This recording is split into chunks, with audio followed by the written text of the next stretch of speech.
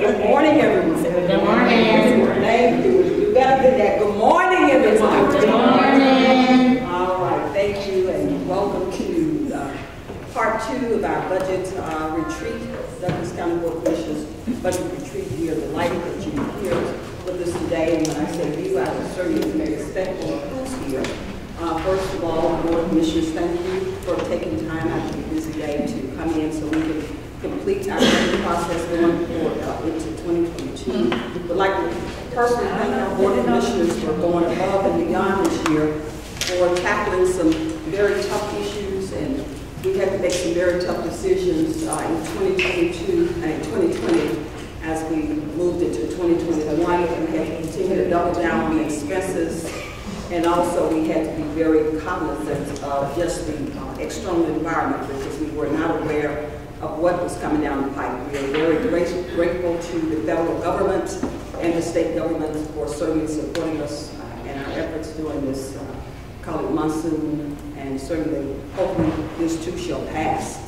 I would like to give credit this morning to the executive team, uh, county administrator and uh, finance, acting finance director, uh, Rosalind Miller, and also uh, our chief financial advisor, David Corbin, here this morning, who have uh, worked diligently to crunch numbers to make us whole going into 2022. We will be presenting this morning, and certainly uh, I want to give, acknowledge our deputy county administrator as well, and our assistant county administrator for being at the table too, for helping uh, guide this bud- budget process. And most importantly, I'd like to thank our citizens of Douglas County for your patience and your, your endurance during, and your resilience during this pandemic. Would like to thank our clerk, uh, and also our deputy clerk this morning. And I see that we're going to certainly make introduction this morning. Justine is here, she is the county administrator's executive assistant. Justine, if you just take a moment to just say hello to everybody, we would greatly appreciate that. Morning, everyone. My name is Justine Hayward. I'm the Assistant Superintendent's um, new assistant. Happy to be here. Great learning opportunity. Thank you. Thank you. We have our director, Miguel Valentin, this morning here, and then also we have our communications team. And so thank you all so very, very much. Thanks, Sierra. And then I will not forget technology, because we can do nothing without technology. Thank you so much for being here this morning. All right, uh, if there's nothing else to, certainly I don't have anything else to talk about. Our housekeeping rules and our attorney this morning. Come on in, come on, we got space just for you. I'm sorry I'm late, I had a call this morning. No, you, you shared that with us, so you are welcome to sit anywhere you want. Um, Attorney Cole is gonna be here with us today throughout the process, and this is his first uh, budget uh, workshop. Uh, And this is part two, and I look forward to him joining us this morning. Uh, if there's no further ado, and Elliot, I had a brainstorm for a minute, I know you said Miss, uh, Chairman Jones is not saying the name, Elliot, thank you for being here. Thank you, Ryan, for being here as well. Um, I just would like to say, guys, I think this has just been a great year for all of us. Um, Just despite it all, I am just so proud to serve uh, among such great leadership. Uh, The Board of Commissioners are phenomenal. Uh, As I mentioned earlier this week, we may not agree on everything, but at the end of the day, the things that we do agree on, is monumental for this county. Those things that even if we don't, agree, is for the best interest of the citizens that we serve. So, um, with no further ado, I'm going to just jump right into this program this morning, and we will get started. Um, Our first business, uh, order of business this morning, we will have uh, a proposed budget presentation, and it's just a draft, Board of Commissioners, and that uh, proposed uh, budget will be coming with, uh, from uh, Rosalind Miller. She will be providing us with the presentation. Well, good morning. You can hear applause.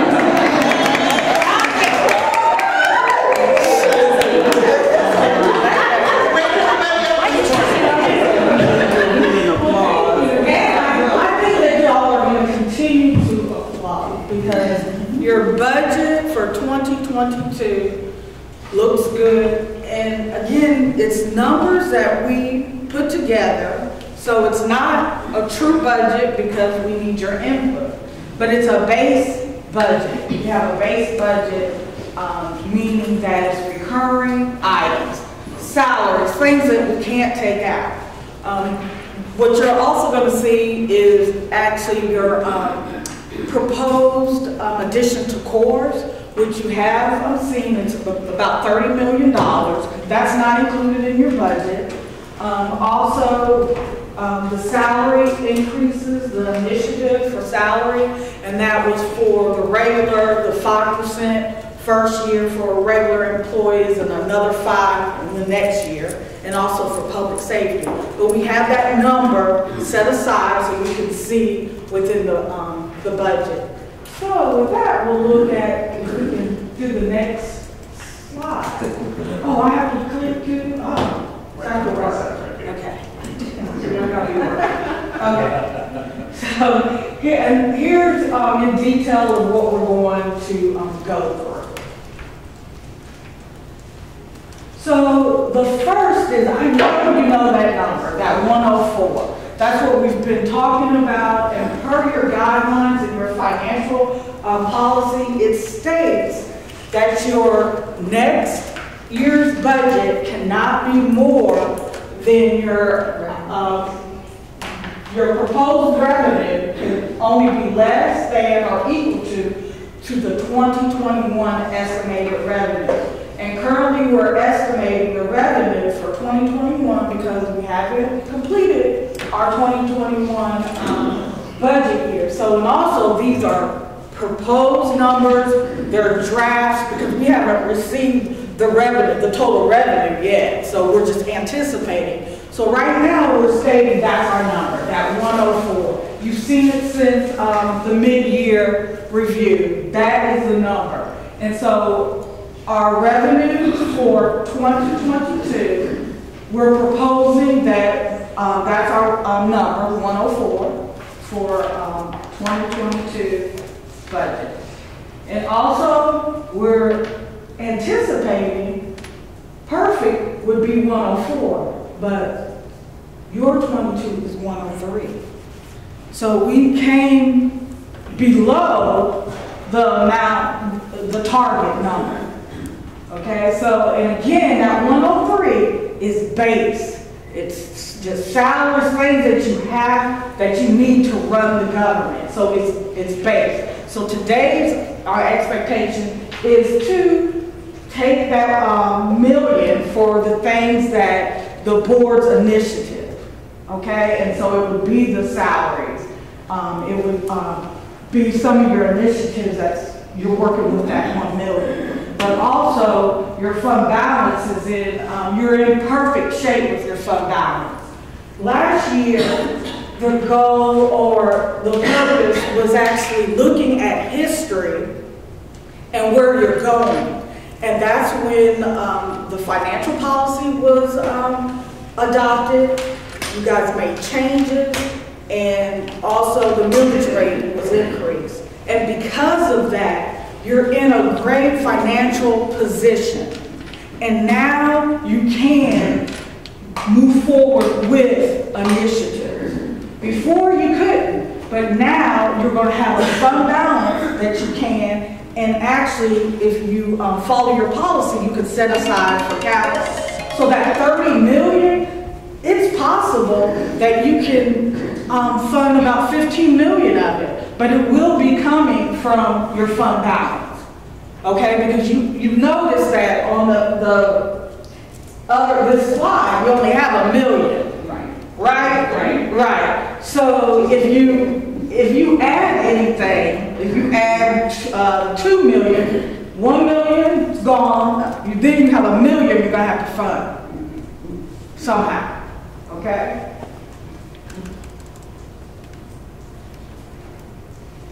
Okay, so your general fund recurring revenue, so you've heard about recurring revenue. Your recurring revenue are revenues that we know we're going to receive. And again, you see the 104, that's our 104. And um, coming up with that number, we're assuming that we're going to stay the same. So that means no millage rate increase, it's, it's staying the same, and those are our assumptions. That we're taking, um, a thirty-three percent collection, no new growth, no assessments. So that one oh four for your, tw- um, twenty twenty-two budget, the millage, no millage increase. That's what's big, that's the data that we're showing you right now, no millage increase, one oh four. Okay, so these are your recurring expenditures, again, as I mentioned, these are, um, your salaries, and, um, the, um, county administrator, um, has some assumptions and highlights to, um, one is the increase, so there's, um, some increase because there is election year, and with that, it's more expenditures. And also uh, beautification, in this 103, there's about, I believe, 1.1 million dollars for um, uh, public uh, works for six mowing um, cycles and beautification. And then also you have a full year of your new um, senior um, center and your um, rec center. Okay? And last year you didn't have that. And then again, um, there's no additions, there's no capital in this number or no additional heads. But in that 30 million, you'll see that there are additional um, staff requests, and also you'll see that there's capital requests. And out of um, your expenditure, again, your 2022 budget, public safety is a priority. That's 36%, public safety is 36% of your budget.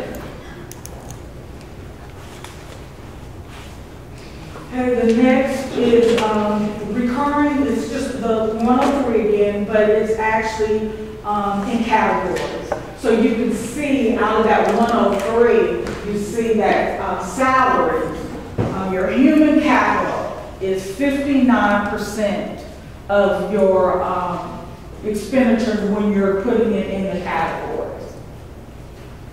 Fifty-nine percent is salaries. Okay, this is the um, general um, fund revenue. And again, um,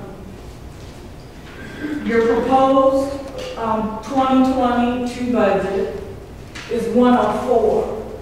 But we added the ARPA, oh, is this, does this have like like a, I promise I won't point it at anybody, the laser? The laser. It doesn't have a laser. Oh, that's fine. Um, I was trying to be fancy. So, um, in, the, in your proposed 22, um, budget, you see the 104 for revenue, but down at the bottom, the expenditure is 108. And I, uh, mentioned, you know, before, your expenditure was 103. And, um, I also mentioned that we would, well, I'm sorry, I keep walking from the thing. But that 3.8 million, we would have a ARPA transfer in to fund for the um, salary initiatives. And that number is coming from your ARPA budget that was approved, and it was for the regular employees. Um, and this is, we're looking at the first year, so regular employees, five percent, and your public safety, ten percent. And public safety, since we're talking about general fund, we're um, speaking of the coroner and um, the sheriff's office. Because in the other funds where we'll um, see later, that's where you'll see your fire. Because you remember, fire has its own um, fund. So it's not part of the general fund. Okay? But, but, I'm sorry. Okay.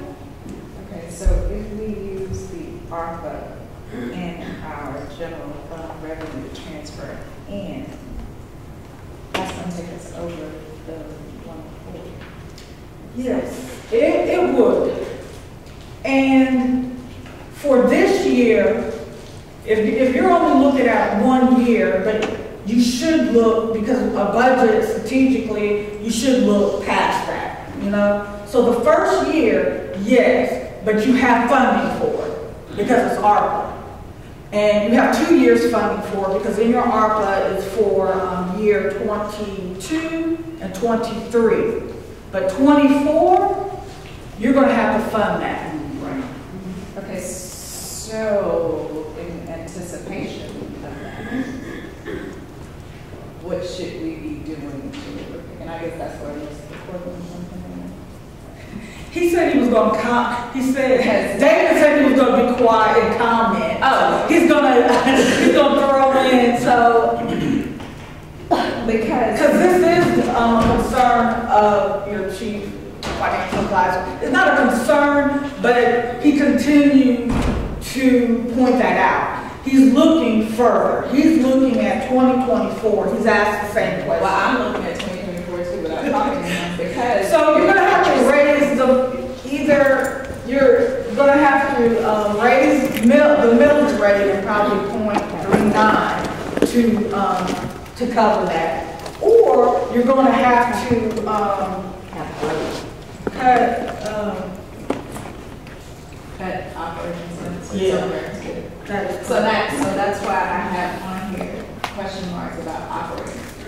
Like, we really need to take a look at that. Because what if we have no new growth, which she just stated, in zero growth? So, because we would love to anticipate that, but with inflation going up and everything around that, that just, that would be conservative. And then we'd be going over our policy. That would just- That is correct, and you would have to state, because you would be violating your policy, so you would have to state that, that you're going to, you know, either amend the policy or you're, you know, I, I'm not sure the, how you want David, you can, I don't want to say, David, you can speak now. I- I'm going to reserve you're you're done. To the, okay, okay. But also, I want to look forward to uh, the science, to the, the things that we're doing creatively, such as we're looking at commercial side. We have some boots on the ground for that. We are looking at the tax commissioner's office to add another uh, tax division director or whatever, just someone to help us get to those stores. And then also. And that's more money. So think about that, that is gonna, you're gonna take more money and, um, not assume it and just put in here, that's no more head. So you kinda have to think about every single thing that we are doing is going to affect those numbers. Because if she's already put it in, and look, we're here, no more there's no more salary.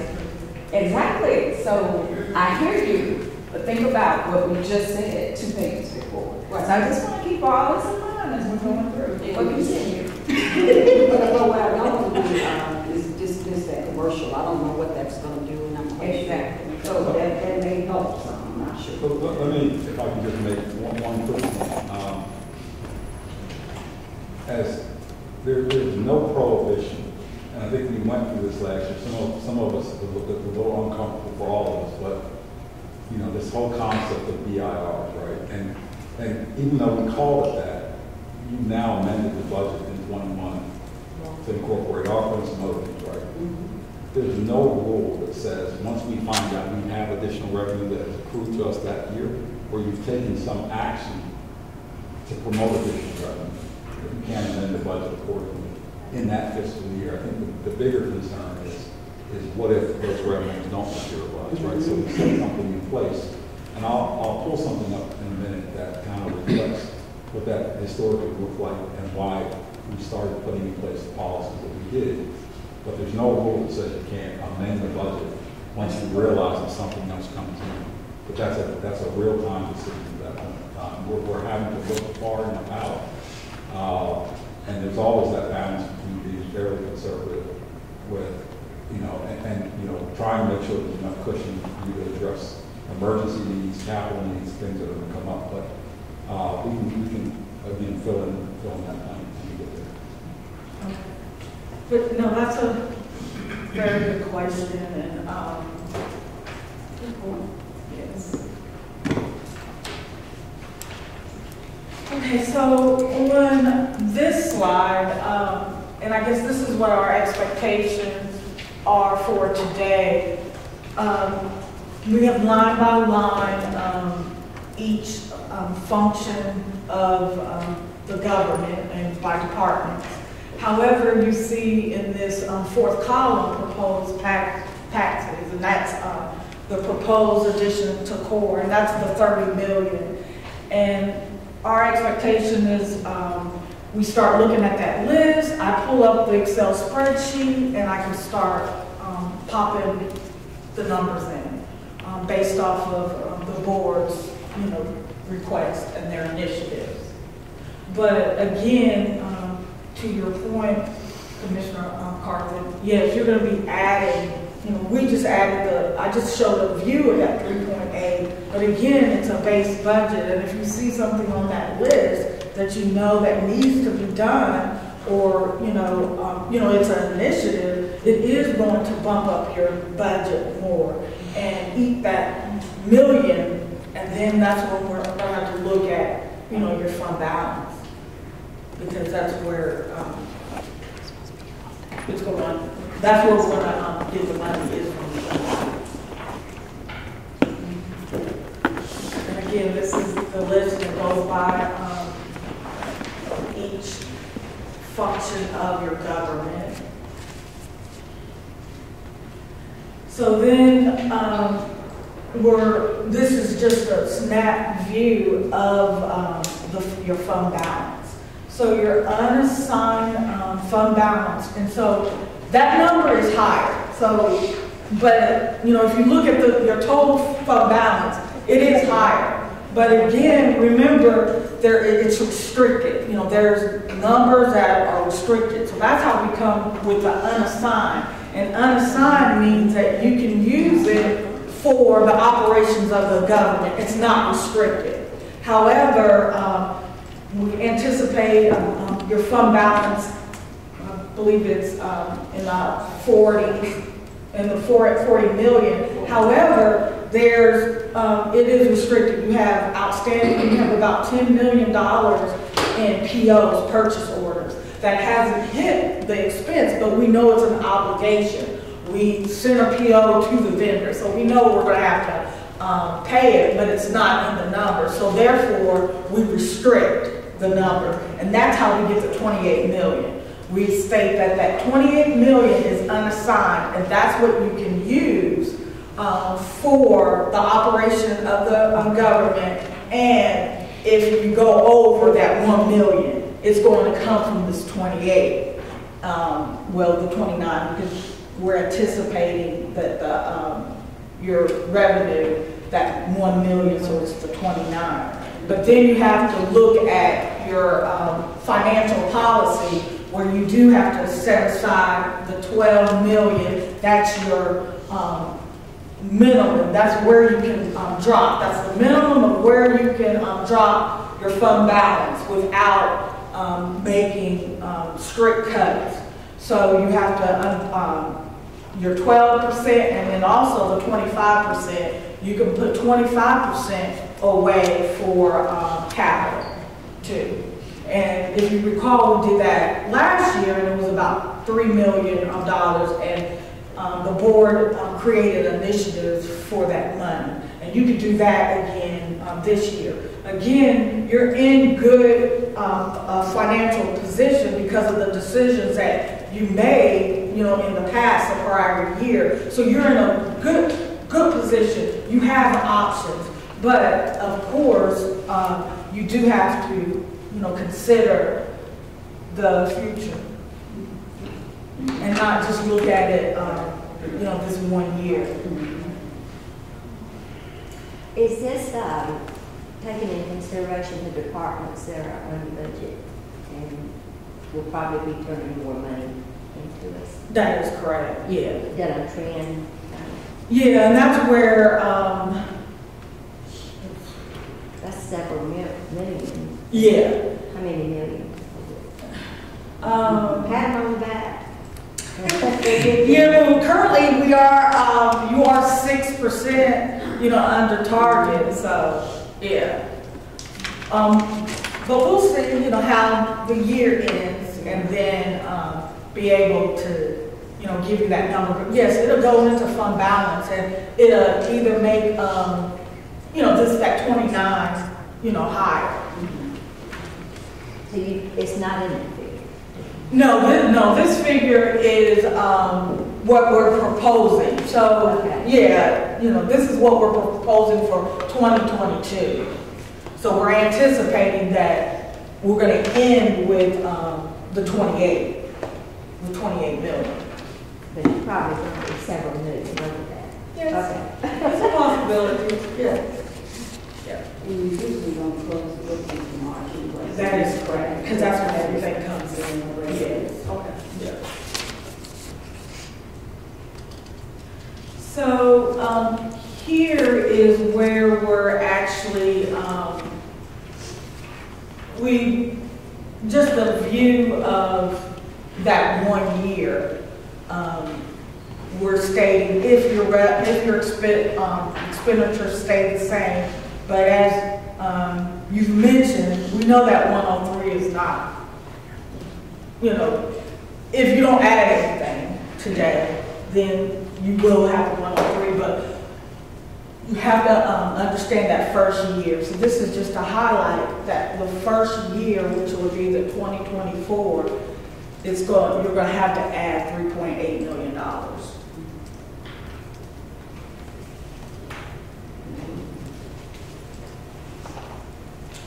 And um, Commissioner um, the um, third column where it says the estimated of 2021, we're estimating um, revenue over expenditures of $4.2 million. And so that's how we, um, you're beginning and then ending of 40, but you have $12 million that's already been ob- ob- obligated. That's a liability. And so that's what makes it 28 million.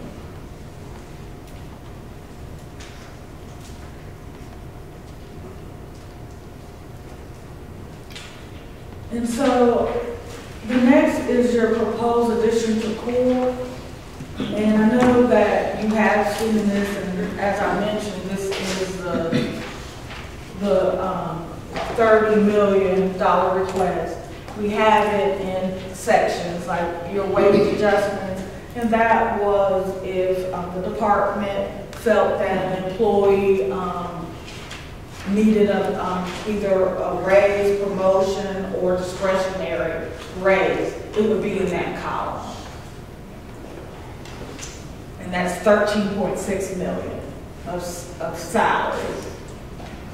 And then you have additional heads, and that's point seven. I don't recall how many heads, but, um, that is the the two point seven is the additional, um, personnel. And then you have a vehicle which can come under your capital, and you have four point one million in a vehicle request. And equipment, you have one point five million, and again, that can come under your capital. Then you have building um, improvements, and that's four point nine. We would have to look at that. Some could um, fall under um, capital, but some may have to be operating. It, depends on the dollar amount and exactly what it is. And then you have technology, and that's one point six, and I believe that is in your ARPA budget. Um, administrator, is that? So the um, technology of the 1.6, we already got a funding source for that, and the funding source is um, ARPA. And then you have um, other. And so the total is $30.8 million. And we're looking for um, that 30.8 million, either we, you know, decide on funding sources, and if it should be in your 2022 budget. And, um, and are we, are we gonna do that today? Is that what we're, So, so yeah, what I'm hoping for is, my understanding is the way you do this is each commissioner kind of says what they want to sponsor, and then we figure out how we fit that in the budget, whether it's a recurring expense or a one-time expense. Um, I, I saw you kind of wince when you saw that building improvement number. Um, three point one million of that is the sheriff's, um, security system, which what we did in the budget is, um, allocate some funding to tide them over, and we're hoping that will be a SPLOST request. So they were able to give us a temporary solution that would kind of tide them over, um, which was under a hundred thousand, which would give, which would buy us some more time. Um, Rosalind, if I interject a little bit? Oh, no, go ahead. So of speak now. I can speak now, thank you. Um, To stand? Um, So one of the things that, um, you know, as Ron and I were talking, have been talking through this, you know, the the financial advisor and the finance staff, you know, they have a role. Their role is to be conservative, to keep us in the box, and make sure that we don't run off the rails. And, and I, you know, I've done some, some history and my research, and even as I looked at the 2020 budget, you know, there was a big giant chasm that, you know, when you establish the budget, that came out of fund balance. You know, you you can't And run. that's why we can't. Right, we can't run like that, right? Mm-hmm. But we've clearly built up our fund balance, and we're not trying to go backward. What we're trying to do is balance. So, you know, what I said to Roz last night is, it's all well and good to have money in your fund balance, but as commissioners, if we can't put the service on the street, nobody's gonna care how much money we have in the bank. They want to know that cops are going to show up when 911 is called. When the fire is, is blazing, they want firefighters to show up. They want to make sure that services are rendered. And we can't render services without paying people a competitive wage. In this market, we're just going to die on the vine. And so as I explained to you when we went through the ARPA list, the, um, the, the premise is we use that funding as a bridge to continue to build. One of the things I've not been able to do is really exact any efficiencies in the organization. Um, Madam Chair likes to talk about double downing on expenses, which we've done, but right now, what we have to do is figure out how we can be better, cheaper, smarter, faster. And so a big part of what we're asking, and is on the ARPA list, is technology. Because a lot of things we do is very arcane and requires a lot of human capital. And as you saw, human capital is our single largest expense. And some of the things we do are extremely labor intensive. Um, I'm not saying that you're gonna find three and a half million in, in, um, in efficiencies, but I can, I think there's a lot out there that we can do. Right now, we're running six percent under budget. If we can continue to do that by incorporating efficiencies and recognizing there are things we're just not gonna be able to hire people to do. We have to figure out how to do things more effectively and more efficiently. We just can't hire an accountant for fifteen dollars an hour. That's just never happening. You know, or, or an account technician, or accounting technician that sits there all day and pulls, you know, checks and puts it in an envelope, and then the little man with the little van drives around the county and drops off checks. You know, that just doesn't work anymore. So I think there's a combination of things, and I think as the financial experts who are very fiscally conservative will tell you, there is no guarantee that we'll have growth. There is no guarantee we'll have increase, but it's also unlikely that having raised the millage rate, we're gonna see a decrease. Everybody anecdotally commercially and all of the financials have shown the strength in the real estate market. We are traditionally, is it one year or two years behind, David? We're about two years behind. We're two years behind. So we're not seeing the effects of the increase in people's base um, property value yet. So if you think about that a year from now and two years from now, we're going to start to see the impact of the increased value. And you're also making some investments. You're investing in software that's going to allow our tax commissioner, tax assessor to be a lot more effective in ensuring that everybody's paying their fair share. Because even just anecdotally, as the new tax assessor has gone down three pages of commercial business, we're under collecting from the commercial market. And you've already committed to, as one of those POs that you committed to, is a reassessment of commercial to make sure they're paying their fair share. So while it is, and I shared, I shared this when we did the ARPA presentation, there is some risk with one-time funding for recurring expense, but I think it's a calculated risk. And quite honestly, if there was a way for me to fund it without doing it that way, I would have done it. But we tried every which way. We even looked at the special funds to see if they could pick up. Some of them can pick up their share, but in the unincorporated, there's just not enough money in fire to pick it all up. So we're gonna be using this bridge, and it's a, I don't think it's a bridge too far, but it is a risk, you know? And, um, the other thing that I think we definitely have to work harder on the SDS to make sure, speaking of fair share, to make sure, we also need to look hard at LOST, you know, to make sure, you know, there's equity there. Um, but I felt like it was important to interject that, just so that there's a level of comfort. The other thing is, um, you know, as, as we continue to find things, increase that fund balance, you also have to determine what, what's a good sweet spot for you. Where are you comfortable with continuing to grow the fund balance? So, um, that's sort of my, my interjection, and I'll, I'll turn it over to my co-host.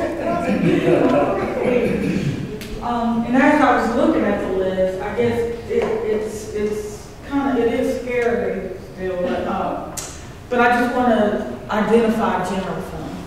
And I don't know, I should have done a total, but I did not. But uh, these items are, okay, these items are general fund. General fund. And then you come with the other funds. And these funds are, should fund their own items. So it won't come out of your um, general fund, fund balance. It, it will come out of the other funds, if they have enough in fund balance. But in whole, Douglas County's um, proposed addition to core is thirty point eight million. And I'll try to get the total for general fund for you today. I'll add that up. So the review of other funds. So you have four really basic, uh, main funds. You have your general fund that we just went over. Next is going to be your unincorporated area special district. We're, um, this is the revenue, we're proposing eleven point three. Um, that's in line, close to your twenty twenty-one. And I think that we're looking at other permits. We may, um, recommend bumping that to, um, two hundred and sixteen thousand dollars under other permits, because, um, currently we're at two seventy-seven. So, um, we may be in line, that eleven point three may be closer to our estimated twenty twenty-one. And based off of numbers, actual real date, um, real data coming in. But that is your unincorporated revenue, eleven point three. These are the expenditures that go with that eleven point three. You have public works, you have planning and community development, and general appropriation. That is uh, money coming into, um, I mean, the expenses going out to fund the other um, animal control and um, fire. We anticipate that you're going to um, end in 2021 with a $2.3 million going into fund balance. So that would um, have your fund balance in at 3.8 million, which that fund balance, uh, fund balance as a percent of expenditure is 42%. That's a healthy fund. This is a healthy fund. Um, We're uh, proposing the expenditures to be 9.4. And again, um, no initiatives, just straight base, what we need to operate um, this unique fund. And we're anticipating, um, if you look at the revenue was uh, 11 million, um, 11.3, and we're anticipating with the data that we have, that the 2022 expenditures will be 9.4, which you will be adding 1.8 million into your uh, fund balance. We're anticipating um, that in 2022, your fund balance would jump at 61% of your expenditures, so 5.7 million. And we would look back, I've been told I click fast, from somebody, but I wanted to go back to the uninc. And so, again, I should have told, but um, in its Fund 270, this is what they're requesting for their um, proposed addition to core. And again, these items are not in that 9.4 million.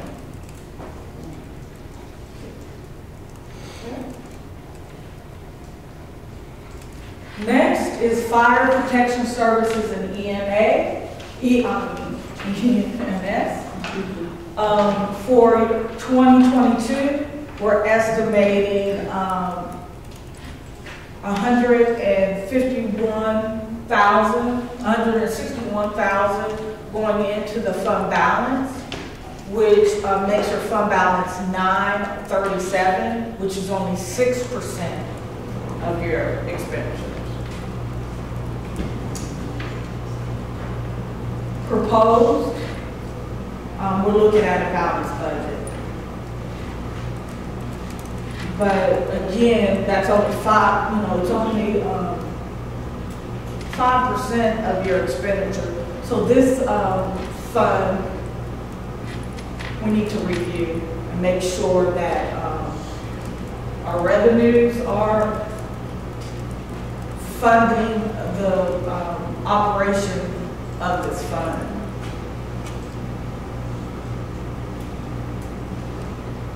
And I'm gonna go back, um, click and go look.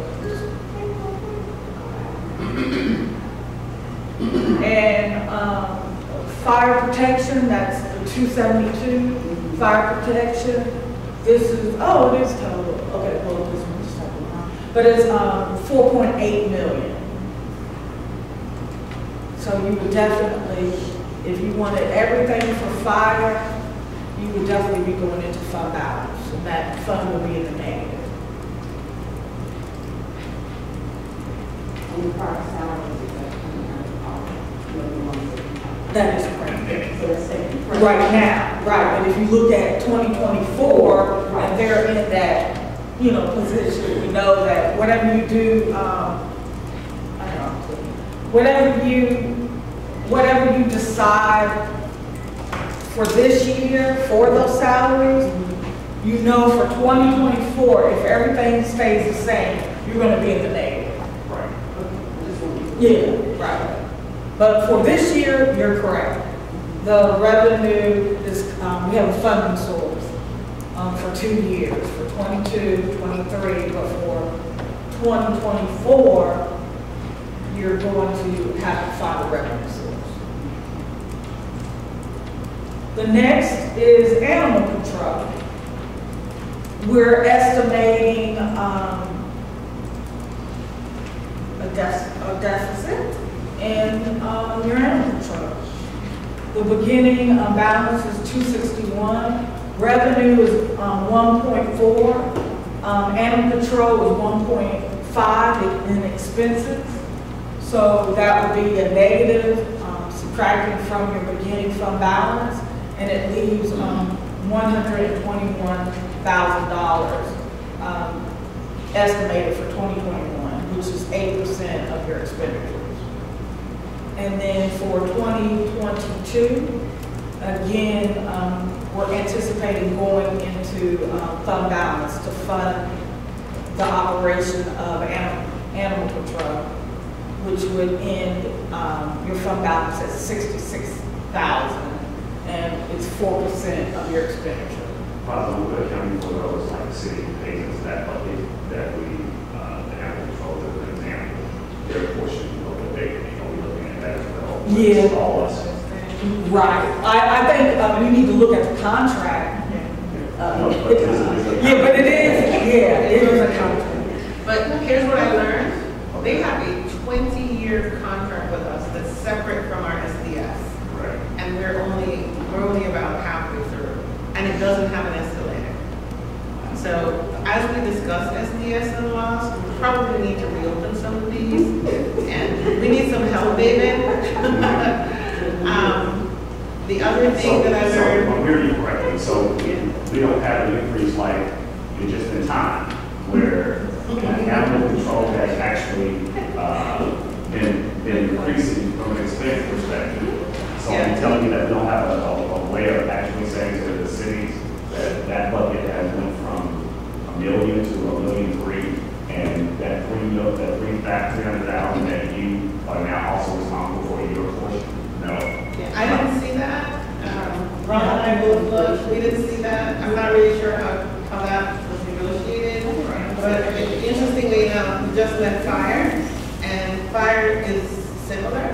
Right. Um, And the fire agreement, I think it's a ten-year agreement, and I think it's also outside of the SDS law. So if I'm hearing correctly, with five or ten or twenty year agreement, this is what you pay like animal control is, I think it's two hundred some thousand for that one, that's your number for twenty years. That's, that's, that, that doesn't make any sense. Those were, those were both negotiated before us. Yes. so- Sorry, you have a question? So attorney, how do we get out of Well, I mean, we have some documents.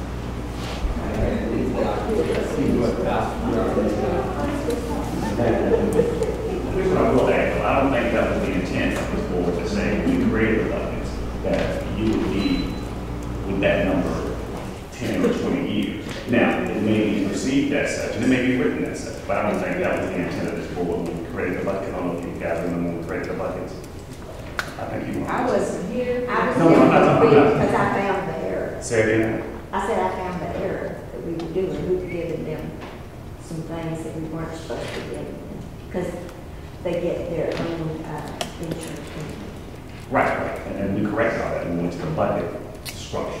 And I know some of these guys were there. Set up the unincorporated. Right, so, so I don't, I don't think that was the intent, but I think it's something that we definitely need to take a look at, because if that's the case, then we got a huge problem.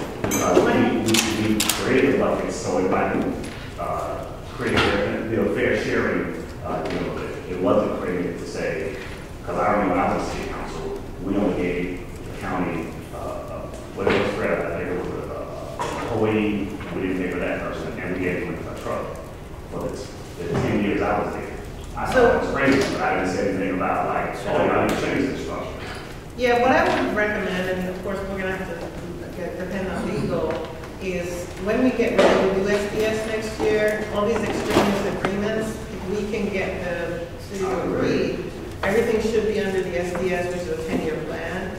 And the majority of what we probably do for the city is gonna be in fire EMS, fire EMS, that's a big, Oh, big chunk.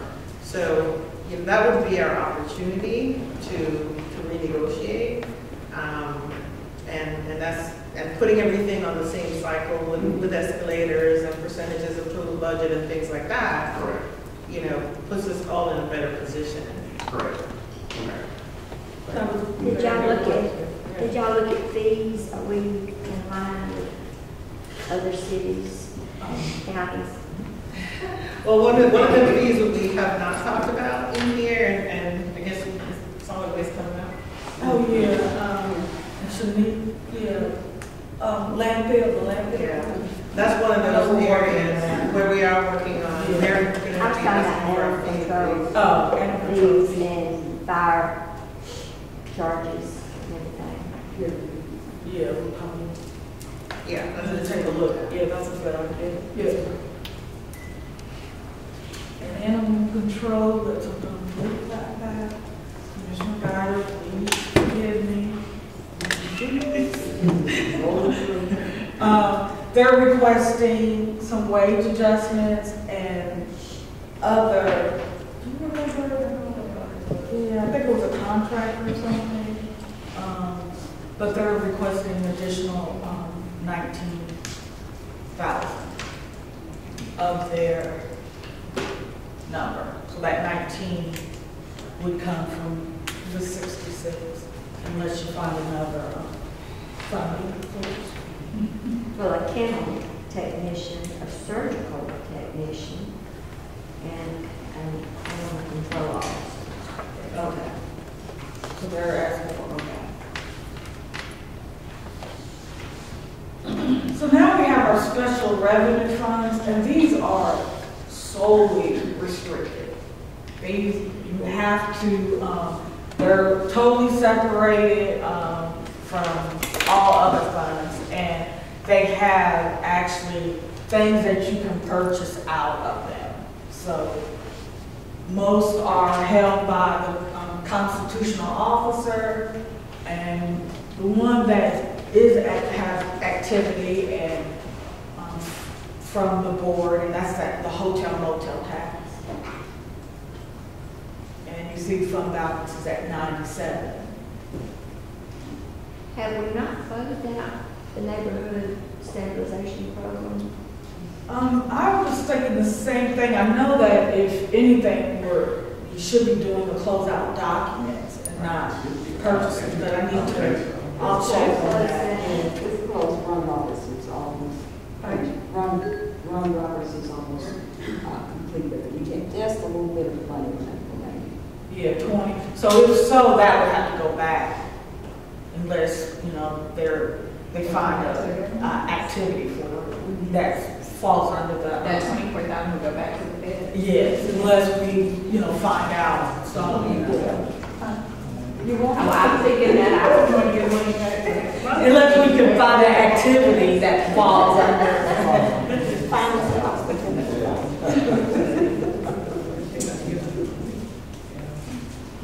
And then these are other funds too, and these are totally restricted. Um, your debt the capital, um, your SPLOST, that's ongoing. Um, Again, it's kind of hard to look at, especially a capital project by a year.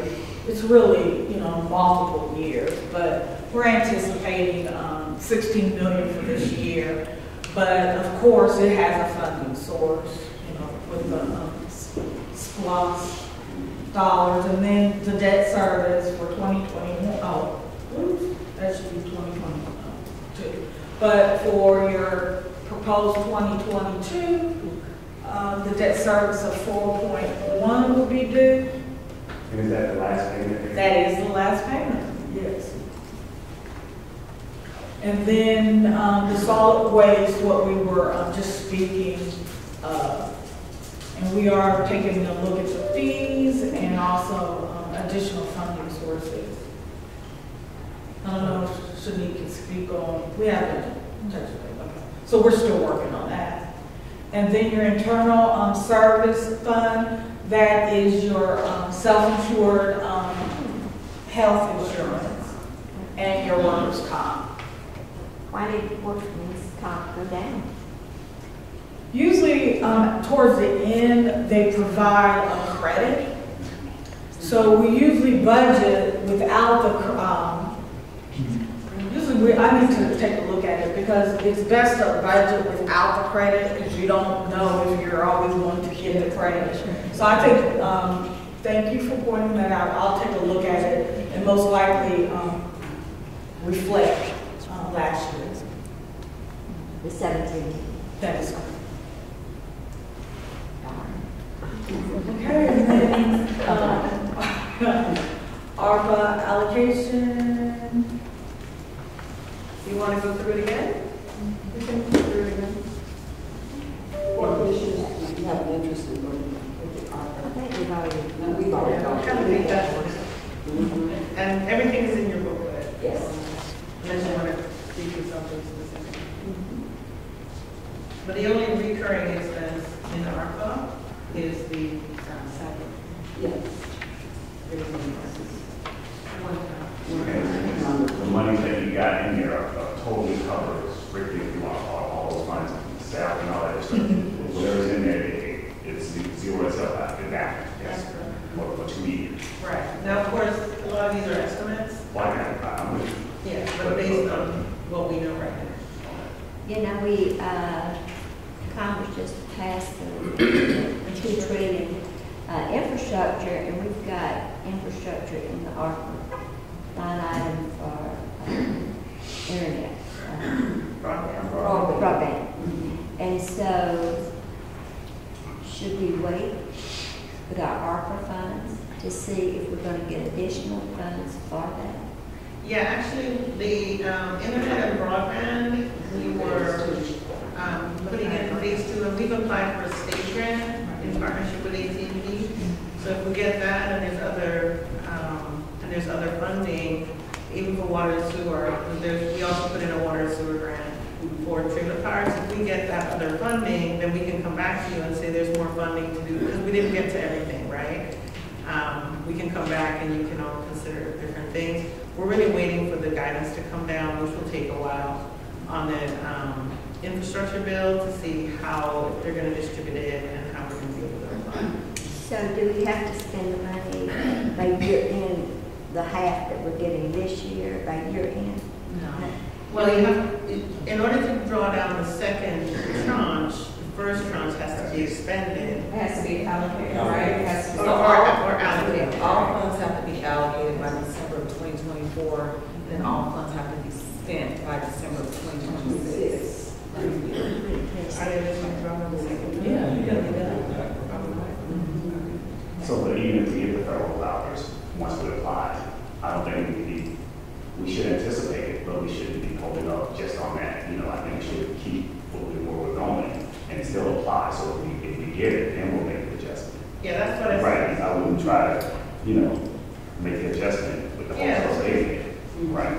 And, and remember when we discussed this, we said all of it is fluid, we're gonna be applying to different grants. So if we get a grant for any one of these categories, we could come back and you can reallocate. Are we looking at what we could spend that money for if we get the grants? Well, you uh, remember the first list was a forty million dollar list. Pardon? The first list, which was commissioner request, was forty million dollars. So we over already. So, but certainly if that's, you know, we have that uh, wonderful opportunity, we'll come back to you. The other thing is they're changing the parameters on how you can spend ARPA. They're talking about disaster relief, transportation projects, they've opened it up quite a bit. Um, still waiting on the final guidance on that as well, but, um, but it's, it's a moving target, they keep changing things. So Sharon, you have plenty of other, other spending that you could use it for. I'm just trying to make sure we understand that. There, we have a forty million dollar. We have a forty million dollar, Right. We twenty-eight million dollar. Change it back and reduce it down to something realistic of what we can do. But I'm saying that Guy, that we, there is plenty of, uh, projects that we can look at if we get federal or any other, uh, grant funding or, or some other source that you've got on the list that we just fall right back on. It'll be up to this board to decide if we want to take that back. So- And what we would do is come back to you That's with a revision. And quite honestly, we're probably gonna have to revise the stuff. that we Several get. times. Yes. So you, trust me, there, there- there's, there's not a lot of money, but we, we got a lot of projects that we can add to the list. And so this is the budget schedule, so where do we go from here? Um, on November the thirtieth, we have your public hearing, and the vision is what you decide from here until then, um, will be in the public hearings budget that's presented. And then December fourteenth, so then you have from November the thirtieth through um, December the fourteenth to continue to make changes. And then on December fourteenth, that's the adoption of the budget. And then, of course, on January the first, we will begin that budget on the calendar year. Quick question, so are these numbers that you're talking about, are, are they based off of uh, a rollback, a potential rollback, or are they based off of a rollback? No rollback. Which is good, I want to make sure that everybody can hear it. Right. Because I to think that there's a potential possibility or, or, or in a a week. Right, but you may decide that, and you ask that number. And if they decide, then that, if they decide, that would be a number that we can kind of at least acknowledge, you know, You're absolutely what that right. is, you know, so. You heard that, Did I say, oh,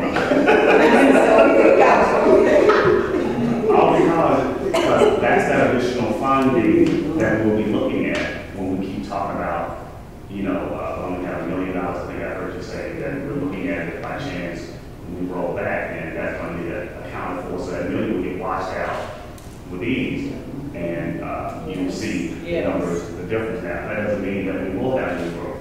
That doesn't mean that we will get something from the board of assessors, which I think we will. Right. Um, but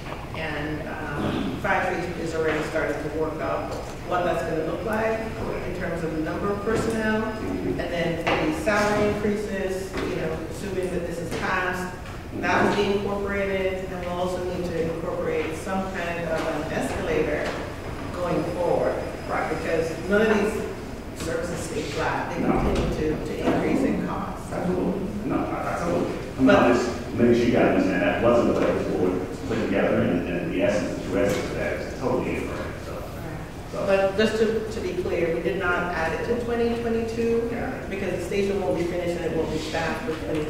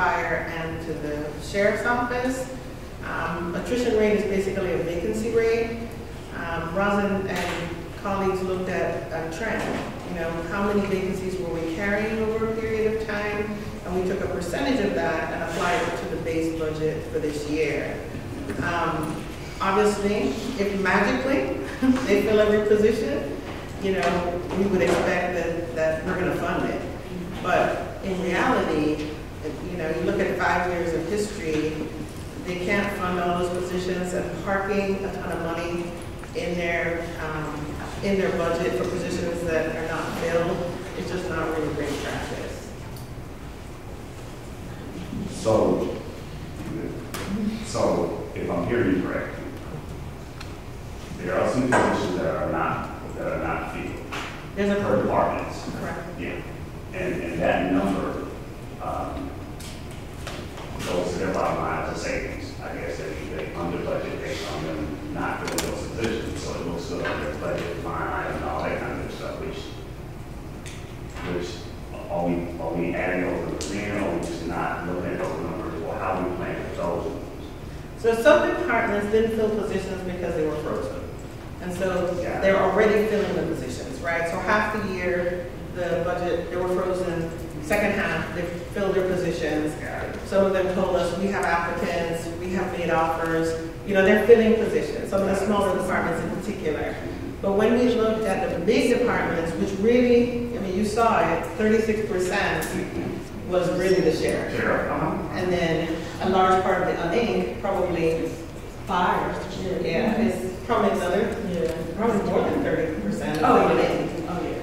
So when we looked at both, what we did is to apply an attrition rate to the base budget, rather than budgeting for every position to be filled for twelve months. Understood. Even if they were filling all their positions, no posi, no department fills all twelve, all their positions for twelve months. I get it. So we, we applied a, we didn't just take out, last year, my understanding is they just took out a bunch of money, um, which, Because that was the budget, that's kind of, you know, yeah. um, this year, we were a little bit more scientific, and we looked at the percentage of vacancies they had over time, and we used that to, to lay against their, um, their personnel line item. So when you look at the detail of the budget, you may see, for example, the personnel line item looks lower in public safety, but that, but not lower than what they're spending. Understood. Does that make sense? No, understood.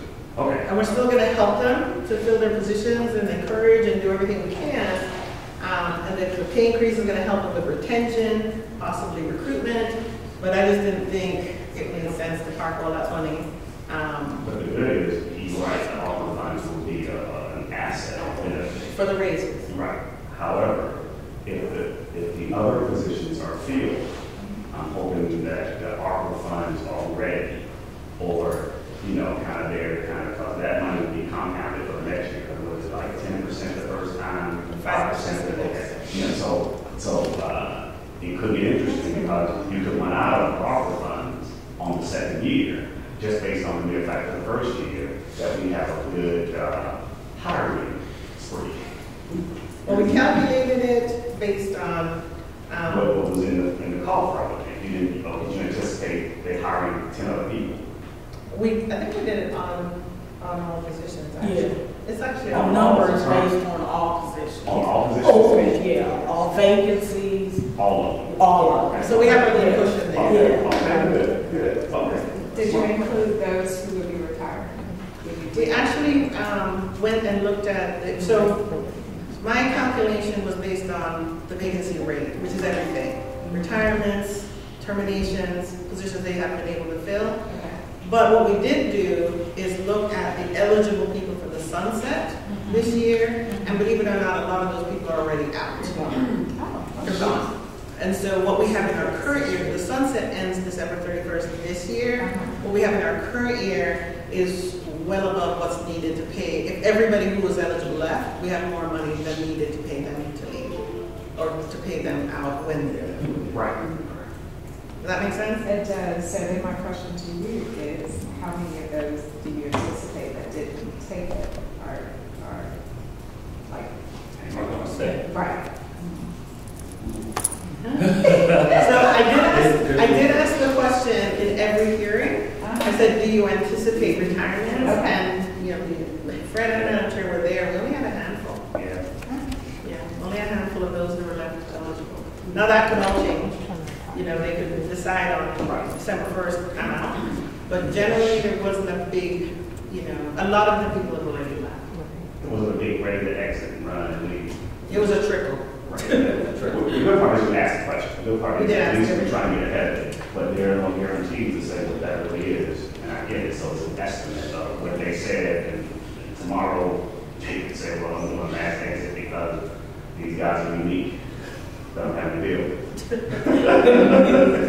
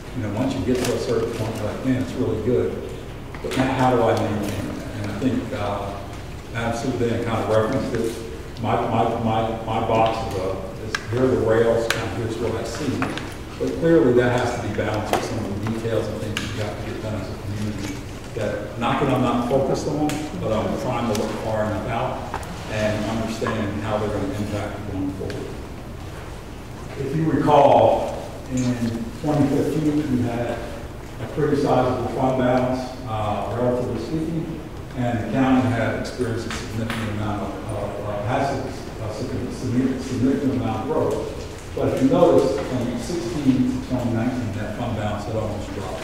Almost, you know, quite depending on how you calculate it, you almost went to a point where it was below your statutory requirement of 10, your board mandated 10%. In 2020, you clearly see the difference. And that's because of the decisions that this board collectively made to uh, raise, not, and part of it is raising taxes, part of it is an expense control mechanism implemented that made, that made a difference. So it's not just one, it's a combination of tax increases and, and, and the expense reduction uh, that took place. And you also had COVID, quite frankly, COVID allowed you to operate not, right, at a reduced rate for a period of time. That's all reflected in the fact today that we're estimating, I think, um, Ross had it on, on the board, about $28 million in in, in unassigned fund balance. That's a big jump from when you had about $10 million in fund balance. So you've got great fund balance. You've got a policy right now, the unassigned portion of that, uh, that 28 clearly exceeds the, the, the 12%, it was 10% last year. You know, I, I'd always recommend 15%. I think we just didn't think we were going to get there as quickly as we had. Uh, so again, you've got a great fund balance here uh, to work off of.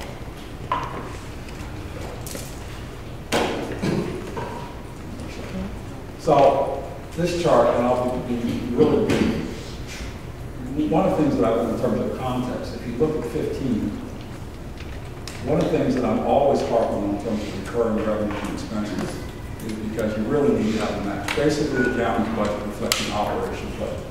There's no really, it's not a capital, it's not set up to fund capital projects. So having said that, I want to show you that in all the years in red, you were using one-time revenue sources to actually get by. And even then, you were still going into fund balance. So these negative numbers actually represent the amounts that you're going into cumulatively, dipping into your fund balance to make the numbers, to make the numbers work better. And so.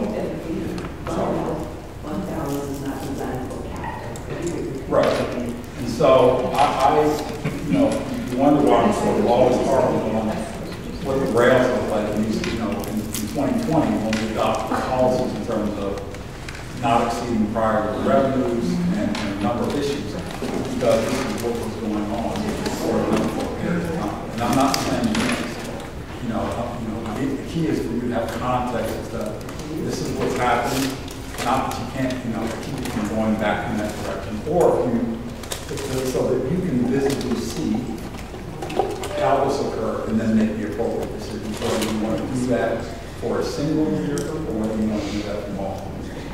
You know, so, you know, we can have, a- you know, the good thing about having fund balance or unassigned fund balance is, if I'm a little short on revenue, or if you're a little over on expenses, you can absorb it. But I think you need to see the pattern and have con- at least some context as to, when we make a decision to add a recurring expense, that we don't have an offset in, in, in, you know, uh, an offset in revenue, because you only really have two sources of revenue. You don't have multi, you don't, you don't have revenue but you do have fund balance right now. So there's some general things you're gonna have to commit to. One is, am I gonna commit to not holding back? Am I gonna commit to raising taxes? Uh, you know, what, what, what cost factors, we just had a brief conversation about inflation. I am of the camp of economists that believe that inflation is not transitory. Once, one, you know, maybe gas prices will go down at some point, but generally speaking, once you give salary increases, you back. Right, they're there, they're permanent. And so, all of this is not to say you shouldn't give salary increases or recognize the things you've got to do as a community. I just want to make sure that this board, all has some context as to when we move in a different direction, why we're moving in that direction. And, and a year or two later, that we can point back to, well, we made a decision to, to do something, and either it panned out or it didn't, and we're willing to kind of deal with that, right? So your, your policy is there, it's just a policy, it's there to, to kind of give you some guide rails, and to be able to have this discussion and, and kind of continue our, our financial maturity. So Commissioner Mitchell, I think you just let, you mentioned about the fire station. If you recall, we have, a- a model, we keep up with it. Uh, So when does that fire station come online? When you know, what, you know, what's the operating cost to operate a fire station? That's not coming on in 23, 24. We have all of these models right now that try to look out to say, here's, if nothing happens, here's the millage that you're going to be required to to subsidize, uh, to subsidize uh, some of those, those costs. So that's pretty much, I mean, I don't, you know, where's the other?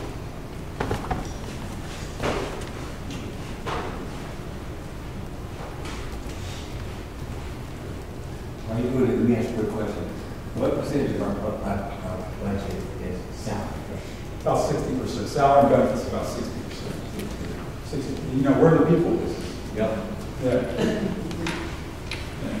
And and that's gonna go higher. Mean, I'm not, I- my, my guess is, you know, sixty to sixty-five percent is probably the range going forward. We're not, I haven't seen yet a municipal entity, yet, no matter what technology we employ, that's all that makes us more efficient. I mean, Dan is in the process of, you know, putting efficiencies in place, but as the government, we're in the people business. We put our hands on people, whether it's a sheriff, we, we deliver services, 60, 65 percent, and that number will creep every year, you know, just just through inflation and, and cost. Understood. So that's, it's a minimum. You've got to take your, your people. Mm-hmm. Then treat them like batteries. You get some big, you know, when you get that work, it's gonna cost. But yet, not the ones that shine the eye. So the other part of this, that's what, thirty-five and thirty, thirty-five percent was, or thirty-five, forty, was that child. No, What is it? this, this budget, it doesn't really reflect, your budget doesn't reflect a whole lot of capital. You use what is the rest of sixty percent of my budget is salary. For a hundred percent. What's the difference? op, op, op- operating costs, you know, op- direct operating costs. Uh, and, and Ross can give you that detail, but it's direct operating costs. Uh, and of that thirty-five, the remaining, I think we've always talked about, you've got sixty percent, quite frankly, ninety-five percent of your budget, just by waking up, is really fixed. You're not gonna lay anybody off, you're fund the same stuff we had last year. I've always told you, We're only debating about a nickel plus whatever you decide to add on top of that going forward. Right, and that's, that's the room there. The question is, what do you do with that nickel, that difference? And then what do you do with any other initiatives that you want to add or incorporate going forward? You mentioned the question, so, uh, operating costs, it's going across, the question about we roll back or not roll, if your expenses continue to grow, and you continue to do SDS and stuff like that, how you gonna pay for that? And you can't, it's counterintuitive to roll back your revenue, expenses go up. You almost have a lead, bad, bad ride, um, those, who- you're gonna undermine everything you're doing. And we had this conversation, um, like, long-term forecasting, class ACG on Monday. And uh, how I know you, you gotta be careful with that. You have to be careful with that, and uh, about lining your strategic plan, well, you know that you're planning these things, now you're laying up your financial forecast to roll with that, well, it's not. Right, You- you don't, don't politicize an annual year, like, what we're, back to financial maturity, like, okay, we're agreeing on a three-year time period. And then we'll get down there and get convened in the third year, and pretend like we didn't make that decision. And that's the maturity part. Um, so, no, this is, I appreciate you saying that, just buying some time. Go ahead. No, don't worry, don't worry. So this last chart, just out of it, again, we've got a couple of presentations, but this last chart I want to show you. Uh, Notwithstanding, we think we're going to end in 2021. The most important number for us here right now is the $28 million uh, unassigned fund balance, right? It's a really big number compared to where you were. You know, so of that, based on the calculations, I mean, I think there was maybe a, uh, a, a mistake in the prior presentation, but we can take, you know, twelve percent of that, the requirement this year is twelve percent. I think, you know, again, you're already exceeding the fifteen percent target that we always wanted you to have. Under the TAN policy, I'm gonna mention, so under the TAN policy, I would, I'm not, I'm not totally there, I'm almost there to the extent that if you have more than fifteen percent, my guess is you don't have to borrow. You may not have to do a TAN year because you're, you exceed the fifteen percent. So, under the calculation, you're, you're allowed to put three million, three forty-eight into a capital fund, an outlay fund for use for capital purposes, outside of your normal operating budget. So, even having said that, you'll still have, I mean, you'll still have a pretty good, healthy piece of change that's, that's unassigned. So this question may not be for you, but I thought about it since you're saying it. So how, in, in determining our budget, Madam Superintendent, how did we look at the maintenance of these departments? Like we just brought on the senior services, we just brought on um, boundary borders, we, got some other things that really need our attention, like really and all those. And in the previous um, years, the administration did not maintain anything. I think me and um, um, Commissioner here got an email the other day regarding uh, the park, the uh, Winston Park. You got an email I got an email. about Winston Park and about the, um, because it's in your district where she's my constituent, she emailed both of us. And so we haven't maintained these buildings that we put up because the operating costs, and Director Duke talks about it all the time, it's just not enough money in there to maintain these things.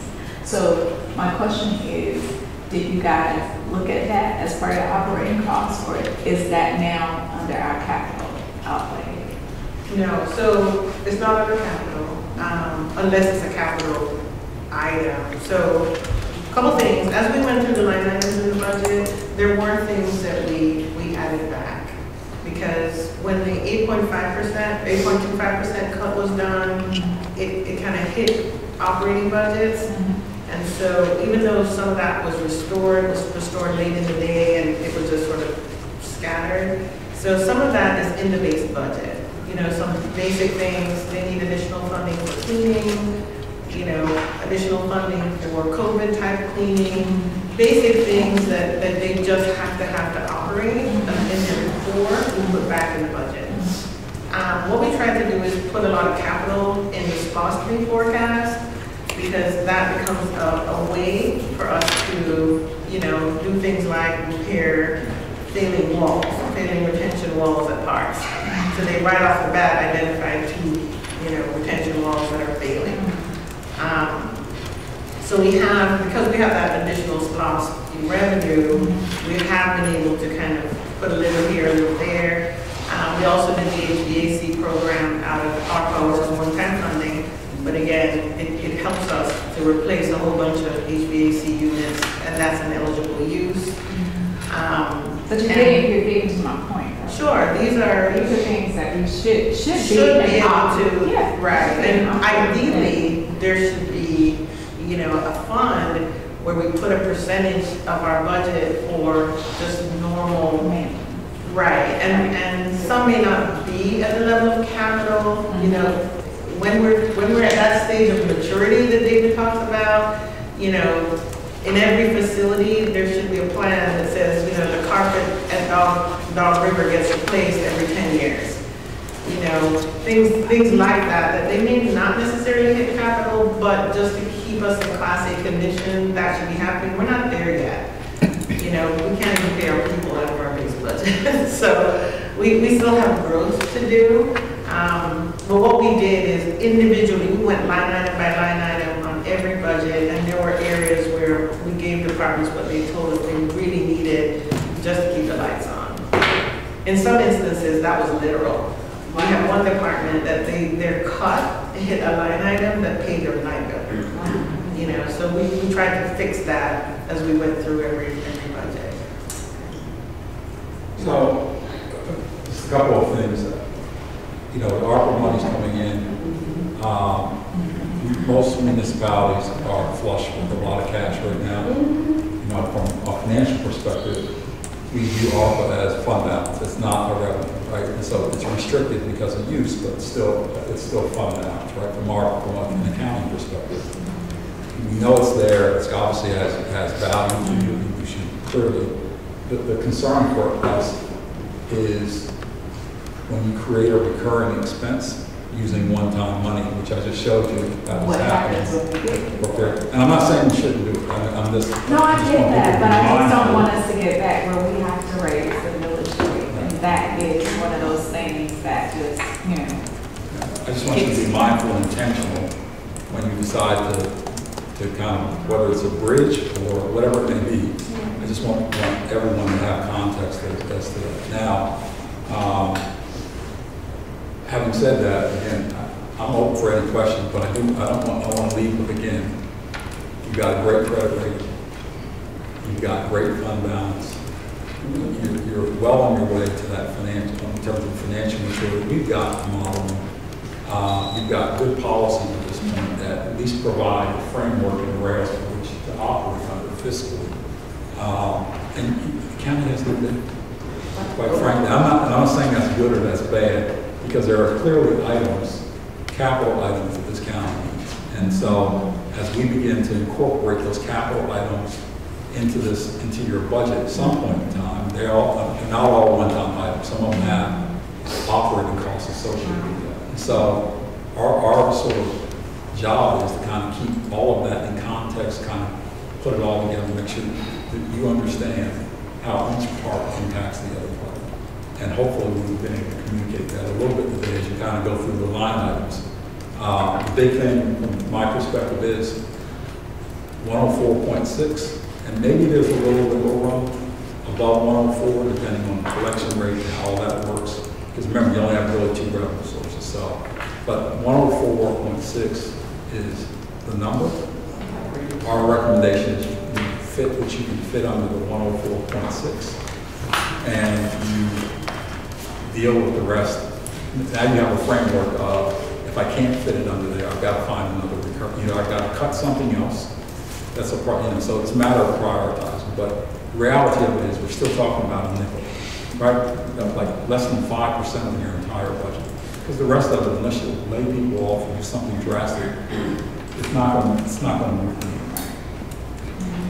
Any questions? I just have a comment that this administration continues to galvanize our scorecard. I believe no thing. I just believe that we should use one of SPLOST maturity. I, I think our citizens are on board with it. They see what SPLOST can do, 84 projects versus one in 2012 versus this in 2016. That is a capital uh, asset. That allows us to get those assets that we need. When I first took office, I looked at that budget, and I knew it is not designed for capital items, because it's, it's- it's a weak budget. It only has room for services and salaries. That's it. So, uh, the SPLOST is our mechanism and our tool for success for this, for this county. You know, tax digest is moderate, it's not huge. Can you talk about our- the future of our tax digest with other things coming, such as other large commercial? I- I- You know, quite frankly, I mean, looking at the metro area, I'm not necessarily concerned that your digest, you won't see some growth in your digest. I mean, that's never been a concern. I mean, look, all the, all the, the the inputs and all the amenities uh, are there for this community to continue to grow. Um, It may not grow at a clip, I mean, depending on long-term interest rates and so forth, but I think you're going to continue to see pretty strong growth um, next two to five, let's- say next two to five years. Um, You are getting, you're going to see some inflation, uh, if not on home prices. Uh, Everything's up, right? And so a combination of inflated home prices uh, and higher interest rates don't really bode well, but you'll see that reflected in your digest. So that's never been a concern for me in terms of, when I look at that. It won't be ten percent, but I think it'll be a really decent number. Um, The bigger concern for me, as your advisor, is the actions that this board has to take, right? So do I raise millage rates? Do I roll back? Do I, you know, those are the things that I'm more concerned about, the control mechanism, because you may have the growth, but you may not want to capture, right? And historically, you haven't captured growth. You know, so, you know, it's the board's commitment, if the board's committed to maintaining or capturing that growth going forward, then, then, you know, that's something that we can plan for. But right now, we, we can factor in the growth, we can assume you don't go back. We never assume that you're gonna raise taxes. We always assume that you're gonna keep the millage rate the same. I think that's the safe bet in terms of when we make our assumptions. But, um, the question is, does this board collectively wanna maintain, main- you know, capture the growth that may be coming to the county? Well, we do think growth is coming.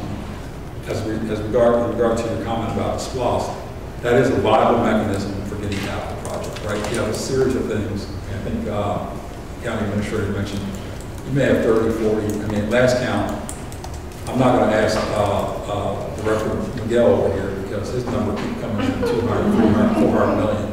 I'm not gonna ask him, because transportation projects are always things that just, those numbers are just, and they're not getting smaller, they're, they're getting bigger because of the- the inflation cost factors. I think the infrastructure bill will help, but at the end of the day, more my concern is we have mechanisms to get you capital, to fund capital items. The question is, of those capital items, what is it that I'm gonna have to maintain in the operating budget? There you go. Right, fire stations, go. fire stations, parks, libraries, whatever it may be. It's like, you know, we can, you know, it's a one-time, you can get it, but then we've got to maintain it. So I'm always looking for that balance at the end of the day, like how do we maintain facilities that we did use capital dollars for that weren't necessarily in our budget? Because most citizens say, well, we paid for that, why do we have to continue paying for it? But you do, right, there is a cost. I think uh, the administrator is trying to balance what that looks like. And, and today, you do have ARPA funds. Those are great for one-time things. Uh, those are great for bridges, maybe. I, I don't, you know, that's, that's the discussion I think all of you, in the context, all of you are going to have to make, you know, ha- have a robust discussion about, uh, in light of kind of where you are what you see. But it's definitely harder to stay where you are. You know, you made a tough decision, but that doesn't end there. You're going to have to continue to, you know, my, my first rule in economics has always been, it's yours as long as you can keep it. And there's always something out there pulling you away from keeping, you know, where you are. And sometimes you have to take, I don't want to call it risk. We're not talking about risk. We're talking about how do we prioritize things in a, in a, in a, in a strategic manner, which we have been on since 2017. So, Let me Jump in this, I'm gonna talk about the millage rate versus the rollback. Um, I gotta go back to two thousand and twelve. Back up a little bit more the raise and millage probably equivalent to what we recently did. And to the point, don't, don't politicize, don't the millage. You just let it alone versus those rollbacks, and when that, we move to correct it. yes. You, you, you gotta pay attention to the actions, you gotta know history. That was like, okay, why are we keep rolling back? But then you, you wonder why you can't address your, your operating costs, or with things that you need to be maintained. You, you, you, you, undermine your own decision. Right, then you, you do a one-off, and we'll spend five million dollars on that for cash. Right, so it, it wasn't part of a plan, it was just an emotional, in-depth political moment. It's what about financial maturity, it's like, okay, guys, you gotta be thoughtful. If the public says they want something to make sure that, uh, it's gonna cost you to open up this community center. It's gonna take you twenty people, do you understand that that's going, I mean, you, you have the conversation, but if there's a willingness to spread that over a hundred thousand voting with, um, public, if they wanna pay for this, you gotta have the conversation. Right, so you, you gotta balance it, what are the needs of the community? Right, you, you, you can't fear it, you have to understand it. And, and I just hope that as we mature, that we're not afraid of what, what reality is. It, it costs, right? To balance that, let's be thoughtful, let's be inclusive, let's communicate with the public, let's make sure we're all, to this point, the collective voice about what we're trying to accomplish. You can't make up thirty years of what was, um, not taken care of. I can only go forward, so be thoughtful, we'll prioritize it, one at a time, I- I'm not looking for the county administrator to come up with some type of heroic or heroic type, no, she can't do that. Because it requires us to pay for it. It requires us to fund her. Right? If there's no what we're gonna come up with, a lot of, like, you can't, the math shows you can't get there. Right, you can't get there, so I, um, the second thing I want to bring up is, real quick, um, adjustments. I don't know if you guys covered but statutory our constitutional officers. What percentage of our budget is constitutional, um, our non-general government? I'm gonna have to refer to the staff. Yeah, yeah, not, I'm just going, yeah, not, not, just help tee this up. Roger's looking it up. Yes, it goes back to what we have to fund, we're gonna get to a share, um, at some point, have that conversation. Constitutional officers, yeah, constitutional. It's seventeen percent. So that's all non-general, that's not across the way, all right, just for conversation.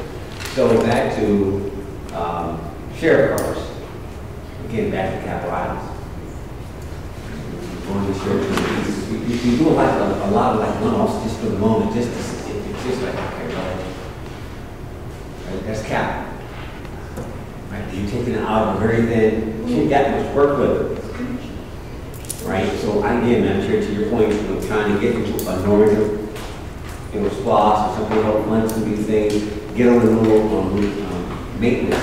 So to the county administrator, I think it is important, maybe, um, to Commissioner Carthen's point, is whether it's asset management, fleet management, there needs to be a formal plan on how do we maintain going forward. Not that we can fund it initially, but at least lay out the plan, uh, so that we can begin to mature to a place where we can address these things. But it's daunting, guys.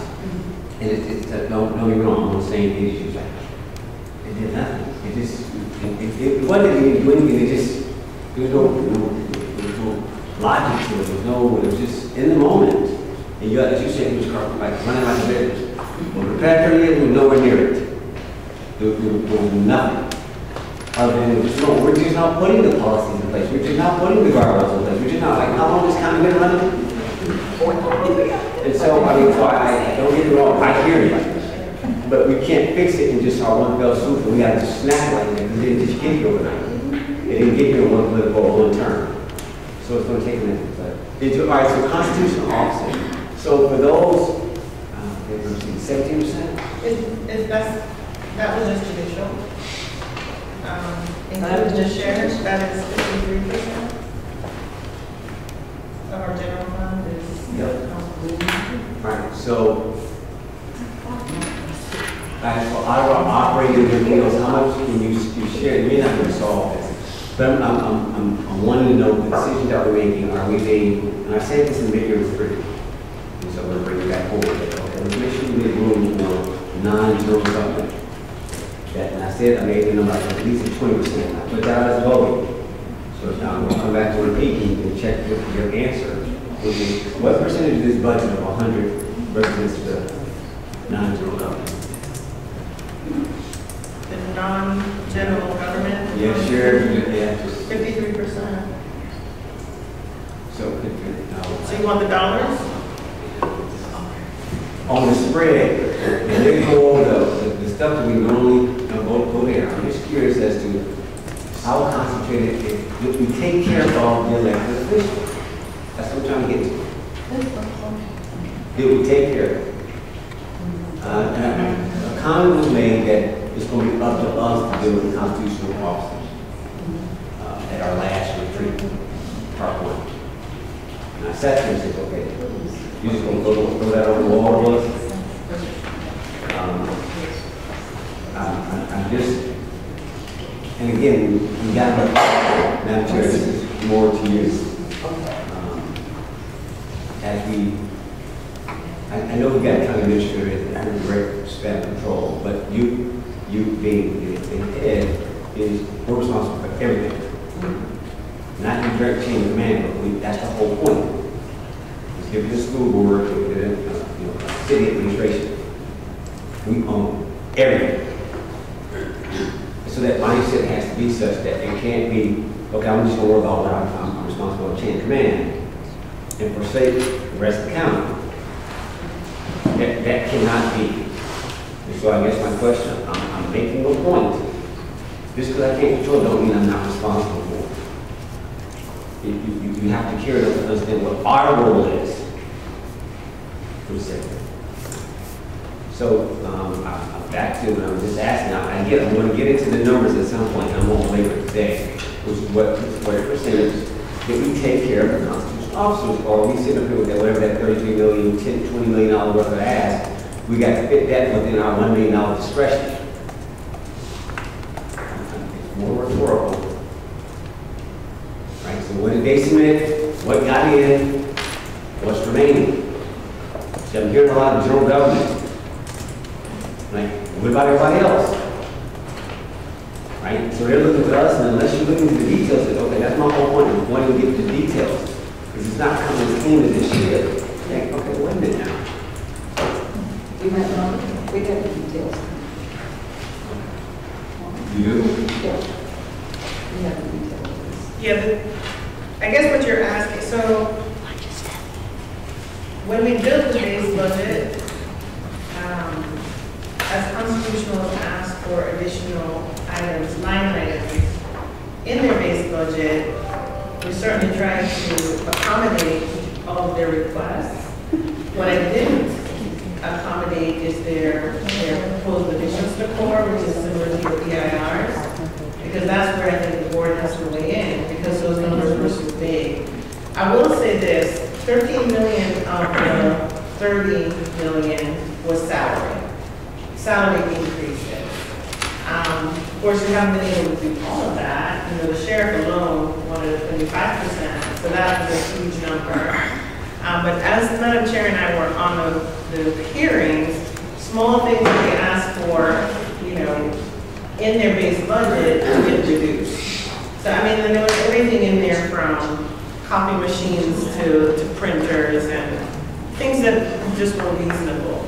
Um, What we didn't address really was any capital, you know, so there were requests for cars, and especially on the sheriff's side, that's not in the base budget. The base budget is purely operational. But we did, I mean, Madam Chair, you were there, you can probably weigh in on the meetings with the constitutionals and the electives. You know, we really tried to be reasonable, and, and they, they were reasonable with us as well. We looked some trends, items that were unspent, sometimes there's a way to move that money to something else. Madam Chair, you, you, you agree with? I think we can actually, uh, in, uh, both I'll just start with Chair first. He's satisfied with his increases. That's the main thing he wanted.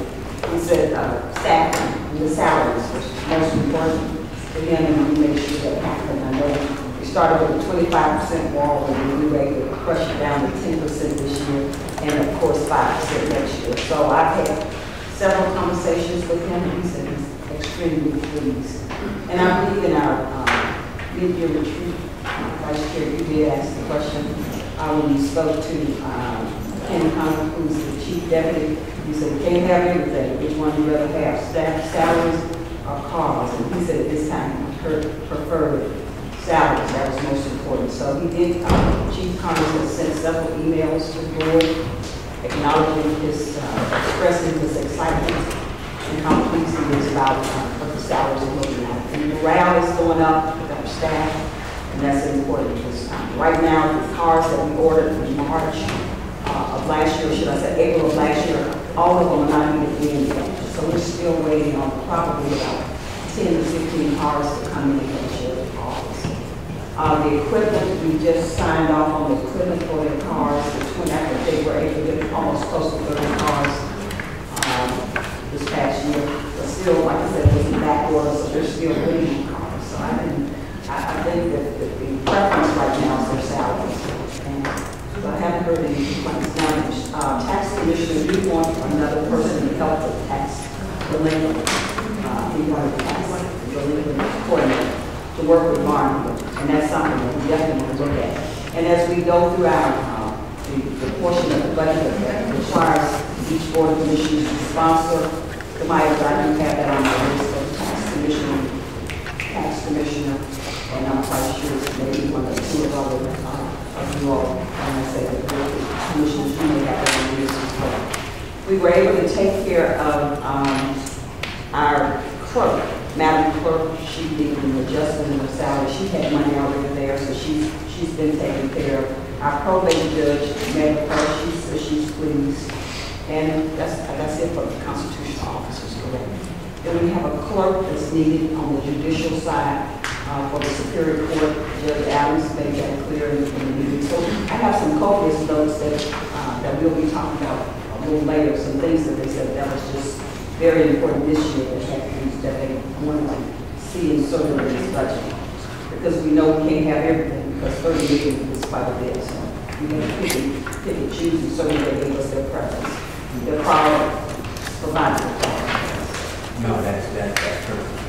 So I- my last point was back again, you know, raise the millage rate was our rollback part. So we're come back to the accuracy of the digest. I said, we, we always let things on the table, we talked about capital growth, I just want to know right what we got. And So I'm gonna come back to, uh, the non-residential side. I know we've got some things in play with our tax assessor, we brought some talent in, we've given the tools, we've given them cash, uh, use of people, um, because, um, again, if the numbers right, you owe what you owe. When we about business, if you owe it, you gotta pay it. We, we, we, again, historically, we haven't really capped it, we sort of let you off the hook, We- it was just a handshake, it's just what it was. Right, we have to think, a lot of stuff is just like, okay, it was just the way it was. During the recessions that they didn't, they really didn't know, these are free, we don't want to do that. like, okay. And they got to have it, just not really. Right, I was in those rooms, and, okay, that's where y'all majority, that's where y'all money. Mm-hmm. Right, so, but now we're, now we gotta show evidence. You show us your receipts. Okay, let's make sure these receipts are accurate. Right, So I think, um, once we get to a place where, I think in two years, again, once we begin to really charge the non-residential side, what we should be charging, and I've got a two, three hotel, my district's probably off by three million. Because we're doing it the old way, they come in there, they complain about their bill, they look, like, well, we should have been charging you this. Right, so they said, okay, now, uh, I can't help you on this. So let's have that conversation. When you begin correctly, no, this is what you owe. Your value is your value, don't, don't cheapen yourself by saying, okay, on one hand you want this, and yet, you well, this, this is, this is the law. State law says forty percent of the assessed value, I mean, what? So it's gonna hit your businesses, guys. But it should be, because we been rolling back, we've been laying it low, you left it too cheap so long. Now you try to correct that balloon is, they gonna fill it. They're gonna fill it, but that's what it's always gonna do, not, not collect. On one hand, we complain about what we can't get done, oh, we're concerned about this, but yet, like, and this is where we are back to mature, because we have to accept reality, we get it. It's on our watch. All you're hearing me do what I normally do, to make it work. We won't this. And and not fear what needs to be done. So for the next hundred fifty years, we gotta put on the right track, off track. It's- Doesn't matter how we got here. You gotta get to a place where we'll be balanced, it'll be mature, it'll live on beyond. To, to a point, you gotta understand context, we're being educated, we're learning. Right, how to read and understand at a high performance. You talk about high performance, are you willing to make the decisions to allow you to get there? So I do appreciate you, David, being here and stuff. We always appreciate your advising and stuff, man. Uh, I have one more further questions, man, Madam Chair, but again, appreciate you. Thank you, Commissioner. Any more questions from I just want to add to the fact that the inflation is causing, or should, is escalating this board's ability, uh, not even our ability, I need to think outside the box, we are looking at uh, fees, uh, fee, a lot of our fee, our fee structure is old. And our county administrator will be following all that information together, so we would like to see, once we look at our fee structure, and then go in, uh, this, this kind of forecast, I want to compare, benchmark with other counties to see what it looks like. In some terms of some of those fees, then benchmark and then see what the final impact will be on the budget, usually that added money, and of course, commercial, then I believe Commissioner Guider said the personal property need to be looked at as well. Uh, as- That's what they're doing, Yeah, well, they look at the commercial, but that is, most that's of it's, personal, okay. most of it's. Okay, so once, once we look at that and then just see if we can forecast and see what it will look like in terms of how- what the revenue will look like. If, and concern is just speculation, but that gives us an idea what it will look like. So Sherry, you said you work on that for us and work with. Yeah, I'm gonna determine that with that. Okay. And then I believe that's okay, and I believe our, uh, our Commissioner Mitchell will be excited about, uh, not having to go out and see. The, the options on the TANs are always on the table to get to that. point. Um, We've got pretty respectable fund balance at this point. In- Implicitly, and I, I'm pretty sure we adopted in the policy that if you have more than fifteen percent, I know it's not the policy initial requirement is twelve, but you have an excess of fifteen percent of, uh, your unassigned fund balance based on a one oh four budget, unless something goes off the rails probably, you know, I'm almost sure you can get by without in hand. But again, it's about active management, it's about looking at things on, a- on a monthly basis. And somewhere in the next, once the budget is passed, we'll then have to uh, forecast what that monthly cash flow looks like. And I think, I think you'll be- I think you'll be okay. I don't want to rule it out hundred percent, but I'm pretty sure at this point, you won't have to use that tool this year. Um, Have we ever looked at impact fees? Because, you know, so the developers coming in, they pay for the impact it's going to make on the community. Uh, I know uh, Forsyth County uses impact fees quite a- a lot, and they don't have to give very many abatements. That's a, that, that discussion needs, probably needs to be had, Yeah. quite frankly. It just, it hasn't been a part of this makeup, but it needs to be had. Mm-hmm. I like that because we can use impact fees and a percentage of the impact fees, we can put to the side for maintenance of parks and things of that nature. So we can use the impact fees to help us to offset some of the areas that we need. Yes. Mm-hmm. I asked Cindy Mills to send me hers, but I know she forgot to, but anyway, I can contact her and decide. So I'll make a note to look into that. Oh, So- okay, we can do it. Don't get to So it goes back to, not, not to nerd any of you out, out, my staff hears this stuff all the time. A lot of things about, it. I always tell people, there's, there are always numbers that's may freak you out between zero and one. So I say that to say that in forums like this, it's good to have this dialogue, it's good because it creates out-of-the-box ideas about mm-hmm. maybe how to get something done. When you have like all these townhomes that's going in, and you're gonna have four hundred townhomes, and then they won't pay, pay taxes until the next year. and then- the debt service. So if They're they need impact all the fees, services. if you know growth is coming, the question is, how do we capture the, some of that, that at least doesn't cost you money, right? You at least want to try to get something back out of that, other than the, the property tax, right? And so if you're gonna give up a property tax, I mean, that's a balancing game again, but it deserves to be looked at. It's a number between zero and one that we need to look at again, when, it's all said and done. I want to add, Free ride for about eighteen months sometimes. Right. So, yeah, I want to add to, to Madam Guy's point, uh, when I first came to office, transitioning from Charlie County, we had a meeting in my office. It was- that's the- What is one thing I should consider? And he says, impact fees. He gave a book, it's still on the shelf right now, um, about um, using impact for development. Again, he was out real estate, you know, he wanted to put an annex, he was the mayor and annex all of tributary and all Riverside into Lebanon, jumped the river, so he, he understood. Uh, That was his background. Uh, but what I, what I, what said, the point is that, well, currently, town didn't want to consider it because of impacting developers, and if they'll go somewhere else and you kind of charge them. And at that time, we weren't very good at customer service, was on the sewer authority, and even our planning and zoning at that time probably wasn't the most friendly. Right, the question you have to ask yourself that, okay, it's gonna cost more. So are you gonna hold the line in planning and zoning? Are you gonna hold? And say, no, this is what it means to do business in Dallas.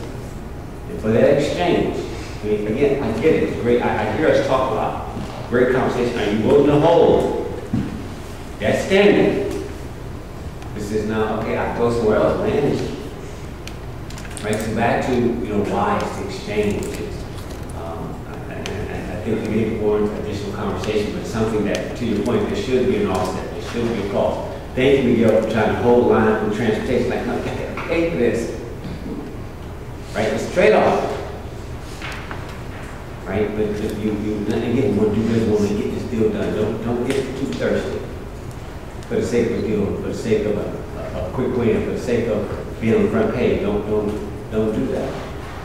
Right, you're talking about policy decisions, you're talking about like, so it's policy, not just in the moment decision. So I, I think you, you're right, I think you, ladies, you are on something regarding that, I'd be willing to entertain that, but let's make that a real policy. Um, and, um, that will help, it will help, it'll make a difference, because commercial, it's common. There's so much liquidity out there, guys, It's a lot of money in the system, it's coming back, I mean, plans on to go get longer, uh, it's coming. So let's go ahead and get ahead of this, and we might as well lock it up now, as opposed to locking up, you know, midway through or after the fact, right? So let's get it in place while we know it's coming, so that's all I got on this subject, thank you. Thank you. Um, Rosalind, if I please, uh, I know our online sales, um, with regard to loss this year, is making a difference because of the 2020, was that when uh, online site sales into effect? Uh, Typically, we were receiving 1.2 million uh, a a month on um, just LOST, but now it's 1.7. So it tells me 500, is it 500,000 extra? Then you can make us- No, no, this is just LOST. We look at LOST. Yes, um, it's been averaging out. to be that, One yeah. point seven, Yes. so that's telling you what, about five hundred thousand? That's a month. correct. So if you analyze that out per year, that's six million additional dollars, um, we will possibly be receiving board on just our LOST sales. Um, And But we did- captured it, right? It's captured in. Yeah. No, no, we didn't, but I'm just saying. Yeah, we did. But, but last year, we didn't have an idea of what we would be, because we didn't have any history. This year, we have some history, so that six million is probably what we we will be receiving. Yeah, and I think it's a mixture of also the COVID, remember? So the mixture, say maybe. Yeah, I think it is, Okay. yeah. Okay, but still, it's, it's in there. Right, it has It's in there. increased, yes, and it is part of our, um, number, yes. And there's no way we can carve out the amount that's related to our online sales. But it's also a road back on property tax. Remember, it's like- reflected Right. in your bill, in your Yes. property tax. My question to you is, and you may not be able to do this, maybe, but since we are considering bumping um, people up to a living wage, that impact on top of what, what all we got here, Correct. what, what, what would it take for us after the ARPA is gone to maintain that? What, it- like, what, In terms That's my question. so the current, so if- Yeah. if you implemented, if you implemented a living if we implement the, the living minimum wage, um, I think Commissioner Mitchell was saying, okay, if you do that, what do you do with the other people who are at? Yeah, so, so the number is, if I recall, is million, s- million six? Is that what it is? For the living wage, and this is at the fifteen, um, dollars, it's a million, and it affects two hundred and eighty-one employees. So it looks like 0.20 increase in the millage rate to cover that. So it'd be a point two zero millage increase in twenty twenty-four. That is correct. Well, Or 2023. well, So look, again, I, I, again, I, I want you to, for, for just a brief minute, I want you to put ARPA, I want you to put ARPA aside. I know the funds exist. and, and I, and I am Right. putting ARPA, so that's why I'm having this conversation now, because if we don't have it now, we're gonna get there. Twenty twenty-three will get here before you know. Right. And so all we have prepare for what we're gonna actually have to pay for it in the budget. Right. So I get, you know, So that's all. I, so from my standpoint, it's a payroll. And I'm not, I'm not making a justification whether it's good or bad. I get you. It creates an additional recurring expense. Right. That needs to be incorporated. Mhm. I'd like for you to incorporate it in your existing budget as if you didn't have the ARPA money, but that may not be realistic Right. for your, for your other, for whatever objectives you have for your. But it's still a recurring expense. You say it would be a what? And let me say this, the bigger, again, the bigger picture for me is, you have a recurring expense that affects 280 people, you bring them up. The question is, what about the, what next poor part of your employment population? Mm-hmm. So, well, wait a minute now, if they're at 16 or 15, what's the next, what's the next population? Right, and I'm not, you know, in terms of, does it, is it like bracket groups? So now you set the floor, Did y'all- does that make the floor move up even more for others? Or does that, does that analysis needs to be done for your entire population, employee population? Mm-hmm. Right, that's the longer term maturity question. Okay, so you're saying, yes, we did look at that. What would that number be? What, So- what would that? So the- it's all in, in the number that's reflected for the payroll increases. So what we did is, um, Ross pulled a list of everybody under fifteen dollars an hour, including the firefighters. Because even though they make twenty-five, they do twenty-five hundred hours a year, their, their base rate was still under fifteen. And so what we did for equity, so let's talk firefighters for a second. So They, they would be the ten percent category. We did fifteen dollars or ten percent, whichever was greater. So, um, sixty-nine uh, firefighters make thirteen fifty an hour. If they got the ten percent, that would be a dollar thirty, so they would be less than fifteen still. So they got the fifteen. If they were non-public safety, it would have been five percent, but we went with the higher number, whichever was greater. And then to answer the question of compression, I will admit there will be some compression, but remember, this is across the board, so we didn't pick and choose categories. So if you were um, already in the fire department, you were gonna get it, and you were making fifteen already, you're gonna get a ten percent raise, so now you're at sixteen fifty.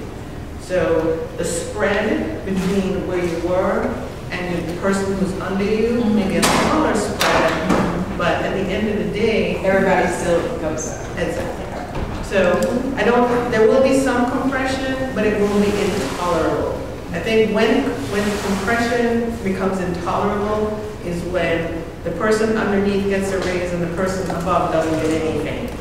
But because everybody's moving, you know, that I think is gonna make it so that the, the spreads will be smaller, but it won't be an intolerable situation. Right. But what about the uh, request from each department?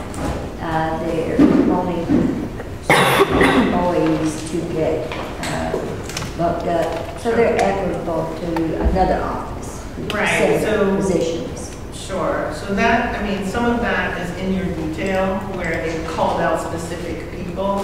In my departments, where, where we are is, we are good with the board's plan. That's our story, we're with it. We're good with the board's plan. Ten percent for public safety, five percent For everybody else. for everybody else. And some of those requests were consistent with the ten percent or five percent. Some of the constitutionals asked for more. As to, so that's gonna be my next question. Yeah, some, I mean, the sheriff asked for twenty-five percent. You know, we, we built in, we built in what the board agreed to. And so, moving forward, we automatically almost know, unless we just get some super new growth, that in a few years, may have to increase the millage. Got it. Okay. You go and get your corrected numbers. Yeah, that's Correct. what Good idea. I think Commissioner Robbins, I was on the board of assessors. I understand. Oh, no offense to my bad, right there, right there. Don't take that personally. So you say it's not gonna be as much as we think? You, so, so you almost have to think about who's closing shop, who's not gonna be here, who's new coming in. All those things, I don't think we as a board think about, we just see numbers. So I'm trying to get an overall, I'm just trying to prepare us overall. This is business, they ain't, ain't no other way to say it, it's just.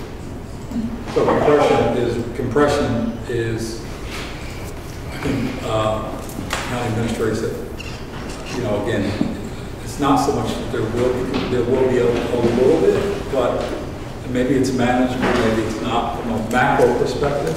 If I give it on one end, uh, it- it's something that we at least have to address and discuss. Now, how you handle it, it sounds as though you have a fairly good grip on how you're gonna deal with that.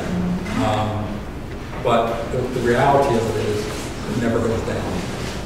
Right? It only goes up. And it's labor cost. I mean, it's just, it is what it is. And so from a numbers perspective, you know, it's not a policy issue, it's a number. Is that number, once I give it to you, it causes a chain reaction and it never goes back. I can never take it back. Right? So, and that's okay, as long as we accommodate, we have, make accommodations and you're managing it, uh, you're, you're, you're managing it going forward. That's all. It sounds like you have, a I mean, it sounds like there's a plan to deal with it. I, believe in twenty twenty, next year's time, we have a better idea, number one, we should have higher technology and things that grab some of those things we've been missing, such as the tax assessor side, tax commissioner side.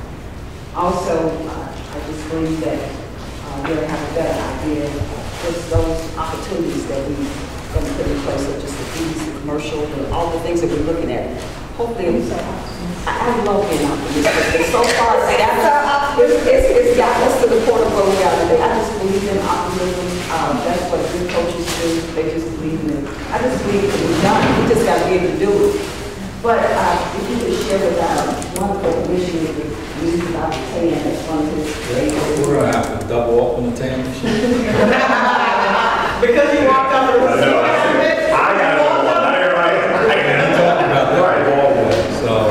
You know, one of the things that I did share that because of the fund balance that we do have, and, you know, we'll, we'll get a more accurate read on- once, once the budget's passed, and now we forecast the cash flow.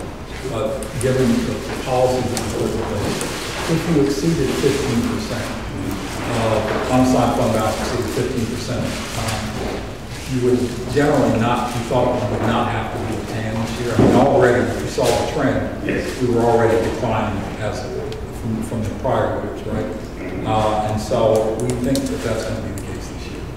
Um, and again, you've got sound fund balance, you've got a good credit rating, um, But it's because of all the funds, correct. like and everything else, so, I mean, I, I get it. So, So, we've been in this space before, Kelly, once or twice, you know, where we've had an opportunity to do it. Yeah, but I mean, just operational, be fine. But, You know, obviously, ARPA is covering some things that, again, that aren't in your budget. Your operational, you know, from our perspective, uh, Ross, I think the burn rate is maybe eight million a month. If I've got like eight to eight, eight to nine million dollars a month. you know, there's up and down. If you look at the estimated numbers she had, so far, I think through October, we brought in about thirty-nine million in revenue, you had 40 44 million, or forty-one million in expenses. So now, you know, obviously November and December, your tax revenue is up, which will flip that, right? So, you know, we're managing that, that, we're managing that. Well, I'm hopeful that we won't have to come back to the pan, but some of that functions, what we do this particular budget. I get it, I get it. So I'm not gonna commit to it, so I, until you commit to a budget. I just wasn't get overly excited about it, so, so, but it's, a- it's a one-time deal, it's a one moment, you know, a time that we. But, but again, I, let me say this, it's not, we have different perspectives all the years, whether it's at, no matter where I've been, TANs are, are viable tools, even in our own business as a securities firm. We use, we don't call it a TAN, right, because we, we we buy and sell securities, there's timing differences. You've got a good fund balance, right? We use that fund balance. Uh, Interest rates are at historical lows. We borrowed, I think one year we got 0.67 million. That was a good year, I know They're just- that, we went ahead, like Vice Chairman Robinson stated, that, that guy's ahead of us. But I think during the pandemic, where we kind of, we maxed out during the pandemic because we just weren't sure. Uh, And you noticed last year, we, we, you know, we made some, some tough decisions and we were able to kind of cut that. We went from, I think, 25 million down to 12 million, right? And so that number, that, that's the trend. And we had a break, you know, Yeah. they all have good breaks, so, so, yeah, I get it. No, I get it. Okay. Oh, Can I say one thing, and and it's the hat off to Commissioner Carthen, and now that you're back in the room, because you missed, you know, very important piece, is, uh, there are many things that we're not doing as a government, right? Because we just don't have the money. Um, normally, you would have that asset management, um, plan, and every year, you know, you do that, you know, one-tenth of the useful life, you know, you're, you're setting aside money or you're doing that renovation and maintaining what you built with SPLOST.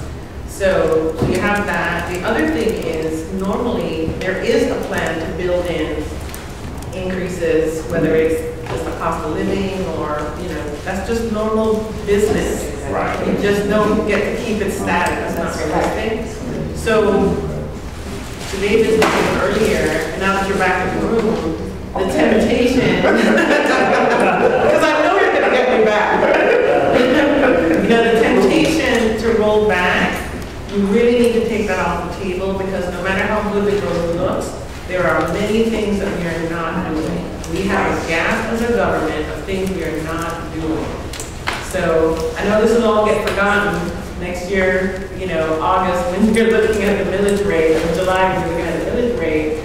But it's really important for you to remember that there are things we're just not doing. And quite honestly, the interim money, the ARPA, the increased LOST, those are buying us time. Yes. You know, you, you update a new piece of equipment, you buy a new AC, that's gonna reduce your operating cost, oh, yeah. but you gotta maintain it.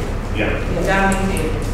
Well, but I think we've already spoken about, I know you want to hear. No, no, go ahead. Yeah, I know we've already spoken about, uh, rollbacks that you spoke about. So that, that's even, from my understanding, not a consideration that, you know, that we, we've already had that conversation. This is good to hear it, this is Okay. And, and I'm glad to hear, I'm glad that you want to say it, but I think you said that even earlier, as I said, you know. But we'll, we'll see, we'll get to that when we get to it though, but I just don't think that's being physically sound, it's physically sound, sound to do it that way. Because it'll put us back in the same predicament that we were in some five, ten, fifteen years ago, so. So real, real quick, just to talk about the future in terms of capital replacement items, whatever be. Part of what we tried to do in policy was that capital outlay out of your fund balance, right? So you got this excess money, you have a minimum. So really the 10, whether it's 10, 12, 13, 15 percent, that really is a fund balance for operating. You do have excess capital above that. What we tried to do in policy was basically say, and we started this, was can we set any, any portion of that aside capital items on a yearly basis, right? So you have an operating portion that is equal to blank. right? It has to be current to recurrent. And now you have uh, a portion of your fund balance that if you need, we think the number of this year is going to be considered three point three million. That can be used for maintenance items, capital items, that's separate and apart from your normal operation. Right? It's just an acknowledgement that you gotta still take care of Yes. other stuff that's out there, that's all. Well, I appreciate it. Any, any other questions on the, the balance of the day? I, I got one more question. I, I have to ask you this is sorry, so, you know, I'm still gonna come back to the digest, I'm gonna come back to the accuracy. There's nothing like the you're doing, this thing online, um, getting those one point two million dollar write-offs, we got. Oh, yeah. You voted about about four million dollars for, for this. No, um, I'm, I'm talking relative. It makes a difference when the numbers are wrong. You can't discount matter whether it's a penny, nickel, or dollar. I always say, I want to make sure, I just know some numbers are right. Don't discount need to be a hundred percent, don't be, don't discount when that auditor come in, they put in the code, they'll, they'll tell you that. They're downplaying, like, okay, gosh, I know we just do this. So I, I mean, I'm not playing when I say what I say. It's gotta be accurate. That it's standing, because it's not like taking that, kid- we just don't say that to the public. They give you a paper in the back of the room, you sure you're saying what just happened? They like pay attention, you won't say nothing. I take it serious. I take it very serious. Show me the math. show me that you know what you're doing. But paying, so I guess as we get into this, um, I, I, know we got some lots of talk about some districts, procurement, finance, whatever. We need to address those. I can do a lot of stuff with consultants, and I, I appreciate Rosalind and David and everybody else who's at the table, but I, maybe that's one we didn't, I just didn't read it, and I apologize. Uh, but again, if we talk about broadly, we've got to address some, some whole organizations. Madam Chair? Are we going to address those at some point? Yeah, we will, we will address those, but also, um, county administrator, for the finance director and and purchasing director, that's a money, their salaries already there, and, right, yes, all that's all. But we will address those. Yeah, no, I'm not sure, really good about the money.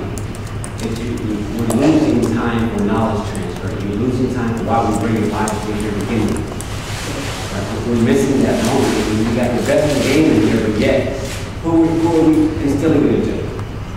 That's contract. Right, so, it's going to cost what it's going to cost. But you can't just dismiss, you can't pretend like it's not, I don't know how important your your finance is. Thank you. All right, thank you so much. Thank you, I appreciate it. Financial advice, thank you for- let's give them a hand.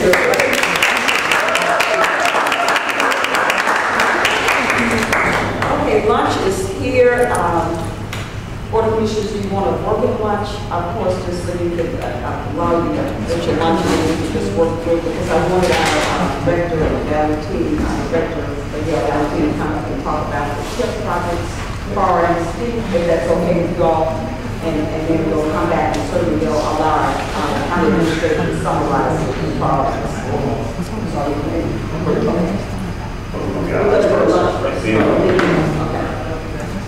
So everybody feel free to enjoy and start with your lunch, grab some lunch, and we'll start back at, it's, it's ten minutes to twelve, we'll start back at dinner. So we have ten minutes to just get the lunch and then we'll start. All right, we are beginning to, it's now ten minutes after the hour, and then we'll look at work, time and, our doing stated. I said twelve o'clock, but we have ten additional minutes. So we will, um, I thank you for indulging in a, uh, working lunch. And, uh, so at this time, I will yield the floor to our transportation director, Bill Valentine. He will be discussing the TIP priority,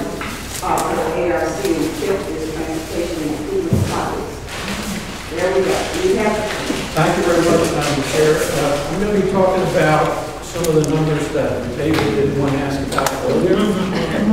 And unfortunately, the numbers that we deal with in transportation are big, they're just expensive projects uh, on on average. To give you some context, our CDP update that we just about to finalize, we found that over the next 25 to 27 years, the needs in the county on the transportation side uh, will cost about $700 million. Right, those are the kind of numbers that we're looking at. Now, obviously, it's over a long period of time, but transportation projects are things that we have to plan for and position um, the system to be able to deliver. One of the things that uh, we always try to do with- in transportation is leverage the local funding. And so, what I want to talk about today is something that we discussed at the Transportation Committee meeting, and it is an opportunity for the county to actually leverage local funds. There uh, are TIP projects, we have four that are at the forefront right now. They overall will cost about a little over $100 million. Now, this is $100 million out of the $700 million overall CTP estimate. So these are included on there. When we did, well, when you all did the, the SPLOST reforecast and approved some funding for some projects, those were primarily SPLOST projects, but we did approve some funds for TIP projects for PE. Actually, out of the four, three of the ones in green. There is another project that we have underway that we just, there wasn't enough funding to be able to even attempt to fund the PE. Now, that project is under design. However, the initial estimate was, back in 2010, was about $12 million. The new estimate is about 40 million. So the prices escalate as you get more and more into the detail of the project and the things that come up along the way. Environmental factors, because we're using federal funds, is a big component of that cost increase. So in any event, we have an opportunity now, there is a call project at the Atlanta Regional Commission. Now, the call for projects happens on average every two years. So we had one, or they had one in 2019. Now they opened one at the end of 2021 with, they're labeling it 2022. The expectation is that there will be another one opening up in 2024. The projects that we have here are on target. They all have begun the PE phase, some of them with uh, studies, feasibility analysis. The others are in actual design. The Green, uh, Chattahoochee Hills Greenway Trail is an actual design, was beyond the concept report. Uh, The Lee Road wi- widening project, phase one, from 78, US 78 to I-20, we're just about to go into design there. The estimate for that project back in probably 2005, in that timeframe, uh, was about $13 million, as I recall. That is a very outdated estimate, but it is the, the starting point for us now. So we're trying to get, essentially, we're trying to position these projects to be able to compete for federal dollars. However, one thing to keep in mind is that the most you can get funding on any phase of the uh, process is 80%. And frankly, 80% is not achievable most of the time. So you're, uh, so you're looking at something less than that over time. But when we go in for an application, we ask for 80% of the cost. But in reality, when you think about, well, this is the cost we estimate now, two years from now, three years from now, the cost will go up. So it ends up being not quite eighty percent of the overall. But nonetheless, how do you, how do you address a seven hundred million dollar need with local dollars? And one of the avenue, avenues is you leverage as much as you can. This is an opportunity to leverage, but you will have to commit to the local match, which is a minimum twenty percent. So of these projects, the, the call for projects is from 2023 fiscal year 2023 to 2025. These projects, as I mentioned, cost overall a little over 100 million, but they will not be ready to go to construction by 2025. It, it just so happens that in the process, uh, the one, there's only one project that will be ready for construction in 2025, but the others are on track to go to construction in 2026, just outside of this window. So there is an opportunity for us, for the county, to go after federal funding for the phases that fall within that window from 23 to 25. And, but that is, on all of the projects, it would be the right-of-way phase. And then on the Chapel Hill I-20 interchange would be also the construction phase. Now, you may recall the infrastructure bill that was just passed and signed by, by the uh, president initially listed a number of projects, uh, and some of which came through the board, we had a, a letter of support that was sent uh, to uh, uh, senators and uh, representatives to be able to move that process forward. As the bill progressed, those specific earmarks were dropped in favor of a lump sum for that category of project. So, uh, we, we put in for, on the Chapel Hill, uh, I-20 project, for example, we asked for five million dollars. And it made its way through a lot of the iterations of that bill. But before it got finalized in Congress, they dropped all of the specific earmarks and said, okay, we're gonna take the sum total of these projects, or, I I don't know, that it wasn't hundred percent of it, but a lump sum of money that is gonna go for these projects, and then they left the details on how they're gonna disperse that funding, at what level, is it the Atlanta Regional Commission, is it, is it GDOT? That is to be determined. My expectation, based on history, is that they will rely on both GDOT and the ARC, to do the final disbursement, because that's the way the process is set up. I, I don't think they're gonna come up with something vastly different, but that, that said, this opportunity is really within the overall ask that the board approved last, earlier this year. So these are not different projects, and it's, and it's not additional funding. This is actually a piece of that overall. The, the opportunities So what are the chances though, what are the, I'm sorry, what like, what are the chances, based on what you just said, as opposed to the project at the federal level, laid out, spelled out what it is. Now they, they approved it, but just have a lump sum of money, not project. correct, The ARC and others, yes. ARC, GDOT. So I'm assuming you're saying to us, for like Madam Chair, we serve on that board of ARC. We need to be able to keep our eye ears to the ground, so when that, when that, when that pot of money comes through, to make sure our projects are in the forefront, uh, ready to go versus not having this conversation again, so we wait to see what ARC or GDOT will remember.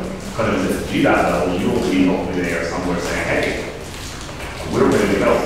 You know, we got the scope, we got everything done, and so we're ready to kind of move on the project. We just need the funding, so it's, Now, whether it will be eighty percent, ninety percent, or hundred percent, that will cross that bridge at that point in time. Am I, am I assuming that's? Yeah, you- you're correct, absolutely. The, the the window to place these projects in the running is by the end of this month, we have to have an application into the ARC. That's the big deal. We, we do that all day long. So mechanically or procedurally, we're poised to do that. What I need from you, from the board, is a letter of support, obviously not today, but that will come before the board for approval. A letter, a letter of, actually a resolution of support for these projects, which is, is going to be very similar to the one you approved previously. That, that was in letter form, this is more form, a resolution, that is a requirement, but we'll get the application in for this call for projects with these projects, if that is the will of the board. But keep, in mind that you have to then, in that resolution, you're committing to the match. Oh, I get it, that's, that my next portion. And so the match for all of the assets in that window of opportunity is four point three million dollars. Understood, Okay, understood. so, No, so, so, so I get, it. so, I think we're, we're thinking along the same lines. So are you prepared to, to, to say to us, these are the projects, I'm assuming in this type of order, and if it comes down the pipeline, you're willing to match your numbers, four point two, meaning ready to go and move on the project? that is correct. You also have the, the opportunity to change the priority. Yes. In this sequence or a different sequence. Now, I have, if you ask me the question, which you haven't, or if you ask me, what do you, which projects are better positioned to get federal funds? I can tell you that. I'm listening. Okay. So, uh, there are two projects that are key candidates based on the criteria, and that is the Chapel Hill interchange, because it is a compact project and the overall cost is not that high. And the Lee Road Phase One, which is the project that we are just Right. advertising for design. Right. It's a long-standing project, and it has a very good chance of being one of the ones in the running. Now, the other two have a good chance as well, but of the four, I would say those two rise to the top based on the criteria. Now, if, I would say, if you are, if you are able to commit to the four, 4.3 million, we put them all in, and we may get, so we would be, uh, the total need is 21.5 million. We're, we would be asking for 17.2 million in federal funds. And we would have to match at 4.3 million of local funds. We may get 17.2 in federal, but we may get 10. So this is, you will, we will not get any more than we ask for, but it could be something less. But uh, wouldn't it be making sense to put the projects in that, in in some form of order of, preference? And that way we kind of, least- so they pull off the first two, we'll, we'll- we're in, in a good line. However, but I think we should submit all four, make a request for all four, and be prepared to give it a four point three, match, if that's the case. But if not, we need one of the four, or two of the four, or all of the four, we'll need at least a sense of, of what the order that we would see it as a county and how we like to move in this particular project. And if we get all four, and we can't get to the four point three, just give me your numbers, then we can also buy out, buy out. Absolutely, no, you're on the right track. Uh, So, so you, you can discuss, let me know what your priorities are. Right. Um, Again, I, I, I beg the question from you, uh, because I have a sense of a couple of them rising to the top, so, but you tell me which ones, we will, we will rank them one to four. Understood. And they may get one, two, and three, and not four, or they may get one, two, or four. Understood, thank you. Go ahead. Okay, so, uh, the one project that we have, I'm sorry, is there a question? Um, The one project that we have under design, the Kennedy Trail project, we do have a budget for preliminary engineering, that's what PE is. However, because of the difference in the original estimate to the actual current estimate on a project, the fee for design has gone up. And and we are at a point where we really need to find additional funding to be able to continue with the design. Or we're going to have to take a look at perhaps uh, doing only a portion of the project. Now, this is a graphic to give you a sense. When we started the design, it's 11 miles, and it was, it's to go from Boundary Waters to Sweetwater Creek State Park. Coming along uh, the Chattahoochee as, as close as we can get without impacting environmental sensitive areas. And then at some point, it kind of follows Riverside Park, because getting closer to the river is just not feasible due to the sensitivity of the area. And then it follows the road to Rock House Road and it comes up along Rock House Road to the park. Now, we segmented, even though the, uh, the initial design effort was going to be all one project, as the costs began to more clear and it began to escalate, we looked at this as a one design, but in implementation in phases. So we, we segmented it, and you can see the different colors. Phase one is the red, phase two is the yellow, phase three is the blue cyan, I guess that might be. So, um, so that's how we were kind of positioning this project.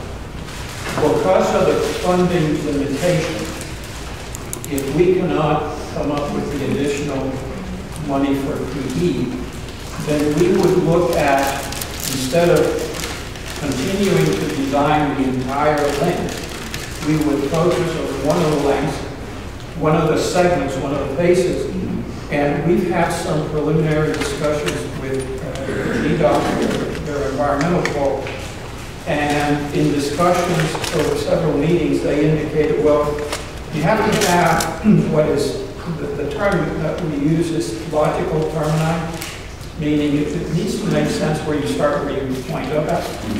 And so phase three became the one that, that jumped out as the most logical from the standpoint that it connects to what would be a trailhead at the park, within park property, and connecting to the uh, bike lanes that exist along Riverside Park. So from, from the GDOT standpoint, they think that they would be okay with that. Now, we have not had discussions with the ARC on this or what have you, but just strategizing, how do we move the project forward, how do we move at least part of it uh, forward? That's where we are with that.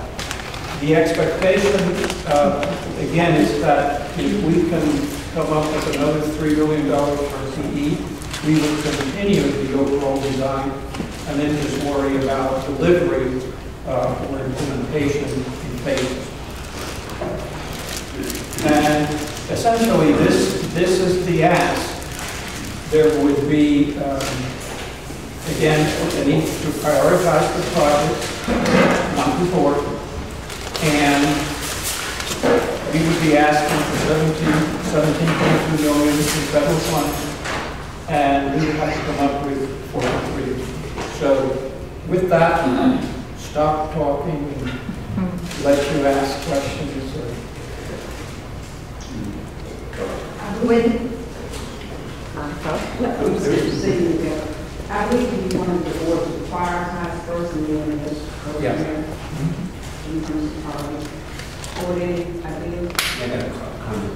Thank you, Madam Chair. This this is something that came up in our transportation committee meeting yesterday. I thought it was prudent, you know, I believe that usually, um, especially when it comes to the finance and that, we put on this. Um, It also keeps the point of having all our, a single view of everything. And we have our SPLOST list, skip list, art list. And so, I don't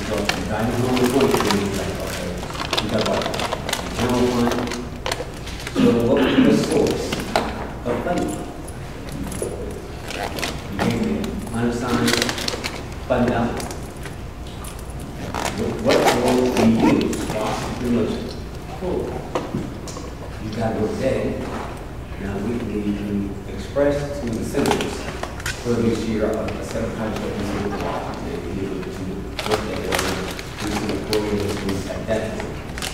So it's about being consistent, what you said are rules, what you've done, seeing everything from a single view. So is Director Stewart standing here, does she know what we submitted to? I do, hold on one second. So I don't know if the commissioners remember back in the summer, I think we had to submit to Senator Ossoff's office what the top two priorities were on that four list, the list. And if you give me, I'll have it here. When we, um, I think the top two were the CAC Regional Greenway Trail and then the South Douglas Loop Segment One Lee Road Extension. Is that right?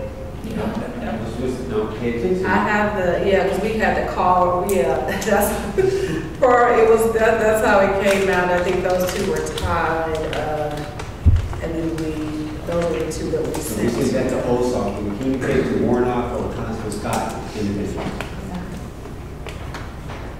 That.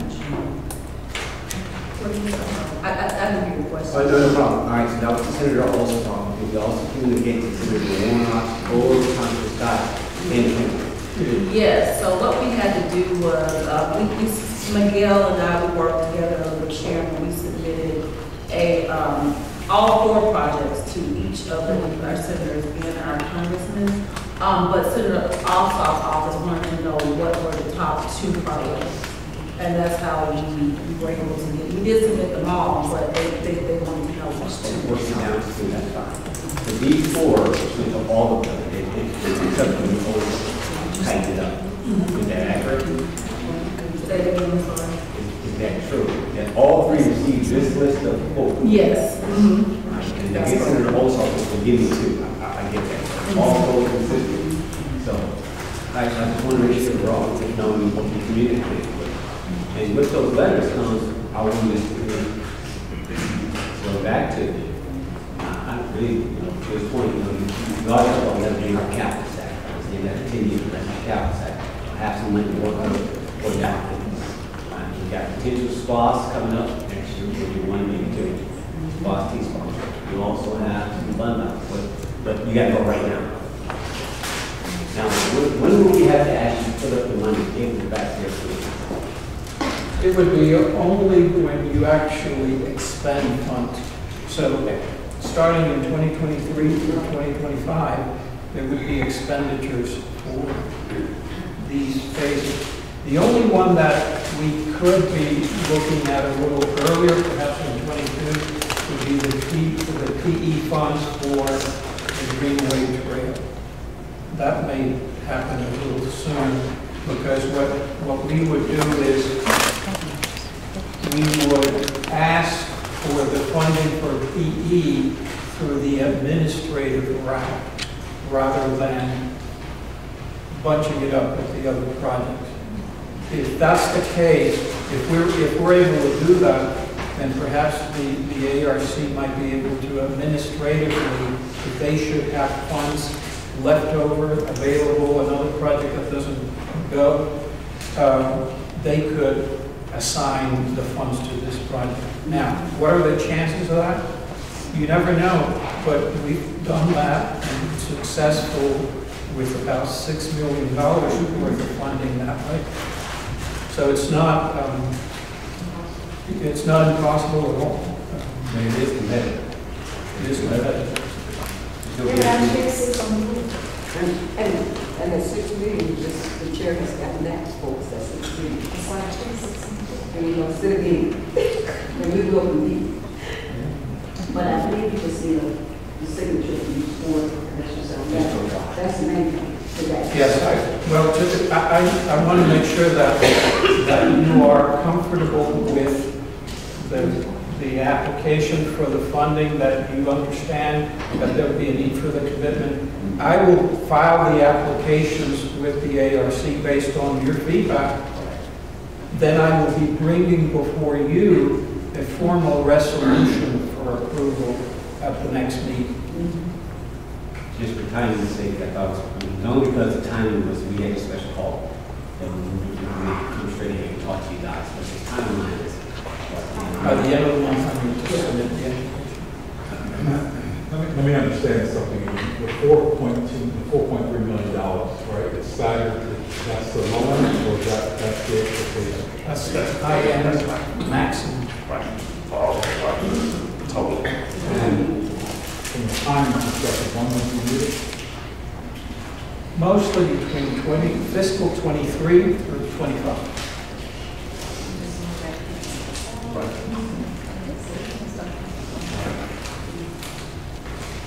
Now, you- the board has to make the commitment, but the actual expenditure does not hit until fiscal So I '23. just want to make sure we're clear, it's contingent obligation. Until when, when does it get? Potentially between fiscal 2023 and 2025. And, and you would ask for that in your operating budget, or you would ask it as a capital item? It would be a a capital item usually. We we seldom have this kind of funding in in my operating budget. And seldom. It has nothing to do with Sharon. But you won't see, you won't need or even get access to these possible funds until feds or ARC or somebody Absolutely. sign off on it. So, oh, okay. No, I get it, I just want to make sure it works. uh, because there's, you know, you're signing up for something today, right? Okay, And you're projecting, and again, not saying that there's another way to do it, but in, in addition to that, that number will not increase, correct? I'm sorry. That number, you're telling me, that number won't be bigger than that? I- I'm hopeful it could be bigger because if, let me qualify, let me qualify the answer. This is based on things as we know today. The infrastructure bill has a lot more funding that is going to be part of another phase. So for purposes of today's discussion, that number is the max. However, there, there's another wave coming of federal funding that would, these projects would be, qualify for, would be in line for, that could potentially then trigger us asking for funding in 2026, which is the construction phase. Keep it in mind though, even though the, this call for projects is from 23 to 25, the federal funding doesn't have that limitation. So when that hits, the infrastructure bill funding, when that hits, it may be active projects for the life of the project, however, whatever the mechanics of that are. But if that's the case, that we would be having a different discussion or a follow-up discussion, not about this. These numbers are not likely to change, about what else we can do to fund these projects. My question, is I guess, uh, the point that, you know, is there, is there an amount of limit in creating some contingent liability that we're going to need to always keep in a, uh, an earmark for? That, in other words, you have so much unassigned fund balance, that's not really, that's not really unassigned. You know, it may not be used until twenty-three or twenty-four, but do we need to restrict a portion of that? I'm not saying all of it, but a suggestion is that you take ten percent of that number, twenty-four half, to restrict it because it's now, you know you're going to use it because you're committed to it. to work towards, trying to get, build a budget, yeah, I, I- I totally agree. That, that makes sense, to kind of plan for it versus just wait and see in twenty twenty-five, we're like, oh, we need four point two now, like what the, yeah. but in the, uh, new infrastructure bill, there'll be grants for us, is what you're saying, available. And so we might, and I don't know when all the specifications come out about it, probably next year. Um, if so, we'd be in a position, I mean, we'd have the fund allocated, the earmark, okay? But we would uh, also be seeking other things, right?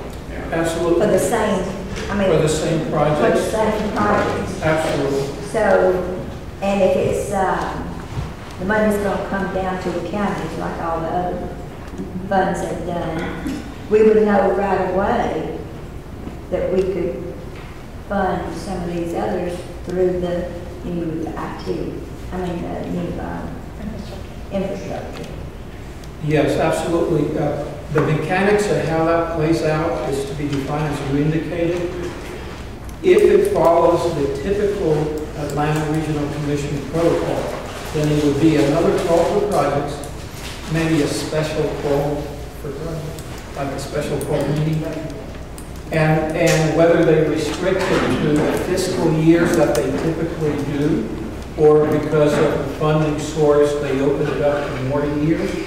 My guess, I- again, I, I- don't know, but if I, if I were going to guess, I would say they would push it beyond this because they are already considering funding levels for those years with the existing of money. And the additional, they may augment some of that, but they would potentially push it into 2026. And for these projects, all I need is one more year. If this were done out to 2026, we would have been looking at $100 million ask. But because, because the phases on those projects, as they move from design, right-of-way acquisition to construction, they have to fall within the years that they're making the call for projects. Because they look at the project schedule and say, well, you're asking for construction funds, but your construction is outside of this window, so we're not gonna give you that. But you did say, I think, that this new bill that's coming down, the funds coming down, there may not be a match. I've heard- much a match. I didn't say that, but I've heard that. I thought you said something that- No, I- may not be that big of a match. What I said, I I think, what I said was that, that the constraint in the years may not be there. They may open it up. But whether it's at eighty percent or hundred percent, um, that is still to be defined. But I've heard that uh, discussion, that perhaps the new funding would not have the twenty percent local match. Well, Rosalind, yesterday we had a finance committee, and the capital fund balance was different than what you showed today. You showed three million something today, and yesterday I thought it was almost twice that. So the- I I think, so the difference, the difference is, Yeah, um, the reserve. yeah, so out out of, you know, Twenty-five percent is what Yeah, I'm so it's, about. it's twenty-five percent of what's left over after fifteen, Uh-huh. so it's not twenty-five percent of fund balance. yeah. It's a little bit, there's, But I a- thought you had a six million dollar figure in there yesterday. I didn't see And that, then this year, and today it's three something. so that I don't number, have my notes with I'm I'm trying to think, I don't think we, uh, we just go over the operating. I don't recall going over the capital. Yeah, we, we really should be getting twenty-five percent, because I went. But I, it may not have been six, uh, I So think it's twenty-five percent of fifteen percent. no, it's twenty-five percent of this was just. all fund balance, all all. unassigned fund balance uh, of the fifteen. Once you get the fifteen percent, it's what's after the fifteen. Uh, it's twenty-five percent of what's, you always have to take your your requirement up first. That comes off the top, and then it's left over, and then calculated from that. But capital, yeah, when we went over the, uh, And that's six twenty-five, six twenty-five? I thought you had six million there, anyway. Or at some point, I thought you told us six million, but I just, I'm not holding you to it. Okay. because I don't have my notes. Don't hold me to it because I don't have my notes. Okay, but don't hold me to it. It's not to pick on you, Miguel. Again, when you start talking about, and I think the administrator mentioned this, was because you own, uh, own assets and we have operating entities, you know, we're trying to establish some bucket for capital outlay, uh, out of cover the normal items. And then you still have an extraordinary, not an extraordinary piece, you still have a significant number, if I recall, of, of items, whether it's, um, pumping down, whether it's transportation, whether it's that whole CIP above and beyond just, I need a new HVAC system. Right, so how do you use the excess fund balance in capital outlay? I think it was originally designed for either one-time item, it's not, gonna- it's not gonna fund the other project. It's just not enough there to do it because of how it's formulated. But, you know, it's again, it's part of that discussion where I call it the capital stack, which is, here's your normal stuff, we have to replace carpet, here's the things that we see coming down the pipe, here's transportation, here's, uh, other capital facilities that you, you need and has to be put in the context of, particularly I'm hearing that, you know, we're gonna commit something today, we're gonna get something, we're gonna start construction in twenty-six, and I'm expecting for that construction cost more, because I don't know. And, and- once we, we're kind of started it, we can't like pull out. Right, so it's just, you know, my sense is that, you know, we're not, I mean, it's planned, but we've got to at least reserve something, so the bike in twenty-six is not as big. If if I, if I could make a couple comments. On, on the transportation side, there's two elements that are different than most other projects. One, in this case, your expenditure is to leverage at a four to one ratio. So that's on the plus side. Uh, Also, you have direct competition with all the other neighboring counties. And what happens, as you know, if, if they make improvements to their infrastructure and you don't do it to yours, you put yourself at a competitive disadvantage. And the longer you do that, the more obvious it becomes.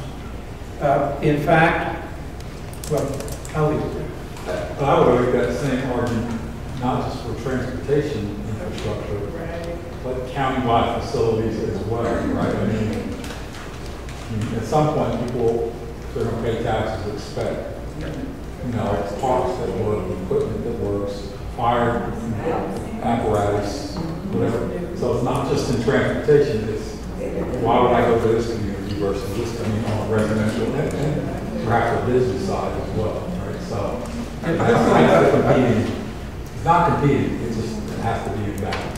Right, and, and and I can see that point, that, that's very similar.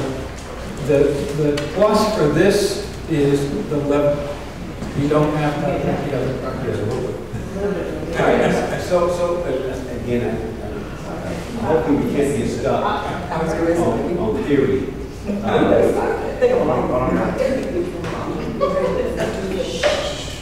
Let's share that floor. Yes, uh, hopefully, you know, I, I, again, we have to have this, this, uh, Mitchell would say, conversation. Um, Madam Chair, I'm gonna go back to the conversation, this is brief. Um, Madam McCarthy come on board, but we hosted GDOT. Very first time we ever, we stepped up. We had all of them here, right? Um, but with confidence. And, um, one of the things that we leveraged, um, one of the comments we made, Commissioner, uh, here, uh, was that, look, we're not broke. We, we want, we got money, we, we, we- we're wanting to leverage our capital stack, and we said, we really appreciate that, because really, this is why the coach got back. It was the attitude. It was knowing who you are knowing what you got. It's great, we, we, I get it, I get we got multiple priorities. But it's like, okay, guys, y'all got two weeks. Y'all don't. I did the recommendation, okay, I want to give you your hand. What are you going to do? Give them authority to move forward, to at least apply. We we talk about hiring grant writers, we want to apply for all these grants. Well, They all come with some type of commitment. Is it more helpful? It is what it is, but this, I guess, you know, you guys weigh in, I'm sure I'm keeping you in time. Are you going to allow him to move forward? This just, got to apply. There's no guarantee, but yes, you need to sign something, that's what's going to source. Um, Now, the question is, um, assigning it does not commit, what if we get to and it has, by the time you pay the money, you can always change, that. we always, we always can move our list around based on what comes available. You have a decision today because of that deadline. You're going to do this every two years. So, He needs his more marching orders, so what are they? that's why, Yes, that's, that's the question. That's the yes. So, recognize, that it's a full disclaimer, That's it. it's about four, whatever it was, four point three. So, so David, can you give us a, a relative that says, okay, so four point three, we're not gonna sign the whole four point three, what percentage, twenty-five percent? Give us a number. It just helps us move along with To build. Sure. It just, To build on that, that, that, that four point three number. two members, squash, that's why it's level for the top. Okay, to this, if, if we decide to take the bite of that in the order which it is, at four point three, and start, as you mentioned earlier, set aside, I'm just going to imagine the number of ten, as a ten percent. And we, and we build upon that, but we give them the module orders to say, this is the priority, one, two, three, four.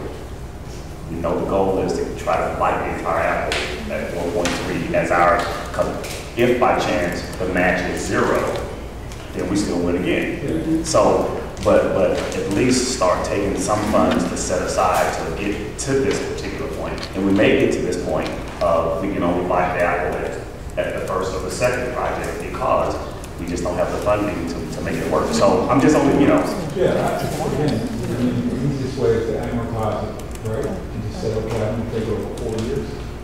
Um, not out of capital, you just take it out of capital outlay, right? Just, you got excess, of- money. again, just put three point, we're suggesting to take three point four million dollars out of the fund balances earmark and just spread, you earmark that within that, that, fund. not, not all of it, but Right, right, but that, what, whatever that percentage is, so we can kind of move on, because I think, Yeah. I, I hear my turn around to myself saying this, what are we doing? What's next? What we, what's, what, we gotta kind of move on, so we kind of move on. We, we hang around here a little bit too long. That's nine hundred thousand, nine hundred thousand, a million per year.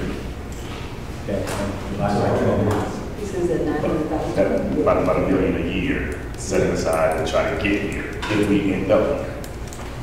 you can, I mean, yeah, you can do it. Roger, did you hear that? I got it down. Yeah, just within that three point four capital. Okay. I was just wrong. Yeah, that's rough, yeah, it's like, it's Wrong, a that's year. right.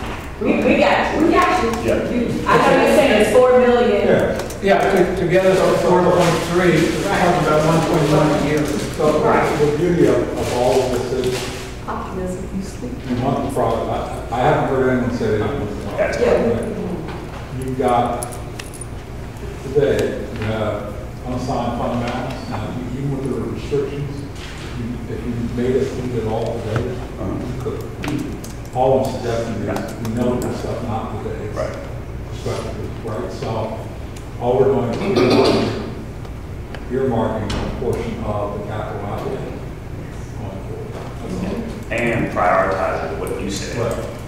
This is this prioritize the list of the better possibilities at one, two, three, four versus what you got there. I'm not saying that you'll get that list and what are the, what are the possible, greater possibilities of what that you mentioned earlier. Chapel Hill would be one?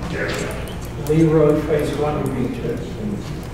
And then after that, Lee Road Extension and the Greenway Trail would be. Even though we've got a lot going on with the extension, that, that would be priority, that, that would be prioritizing that. What I'm suggesting is that because of the funding sources that go into the other two projects, I gave you one and two already, let's Yes. say. We're talking about three and four. Right. They come from different funding sources. Okay. And there is a lot more money in the pot for the Lee Road extension Okay. than there is for the trail. It's Okay. much more restricted. I got it. Yes, I, I got you, and, and I'm I'm good with that, so, so it- it's for everybody to kind of hear, so we, we kind of, that's the order. So we got the possible fundings, uh, mechanism in place, so Rosalind is fully aware of that Just on is. this grant, just on this. if we Yes. said Just for this, that doesn't take away for it if we set the times back. Correct. Just for this grant. This, this is all, this, this, all, this is by itself.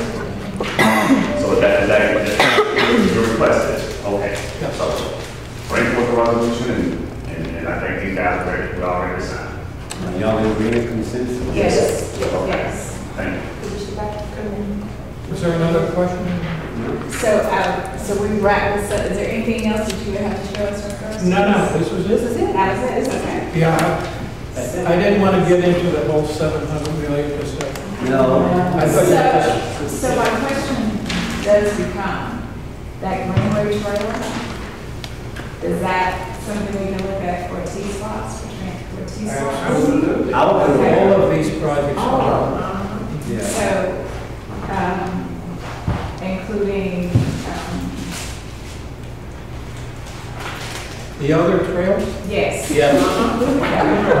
Yeah, the reeds, because I think, Madam Superintendent, you did the, like what that would look like for us.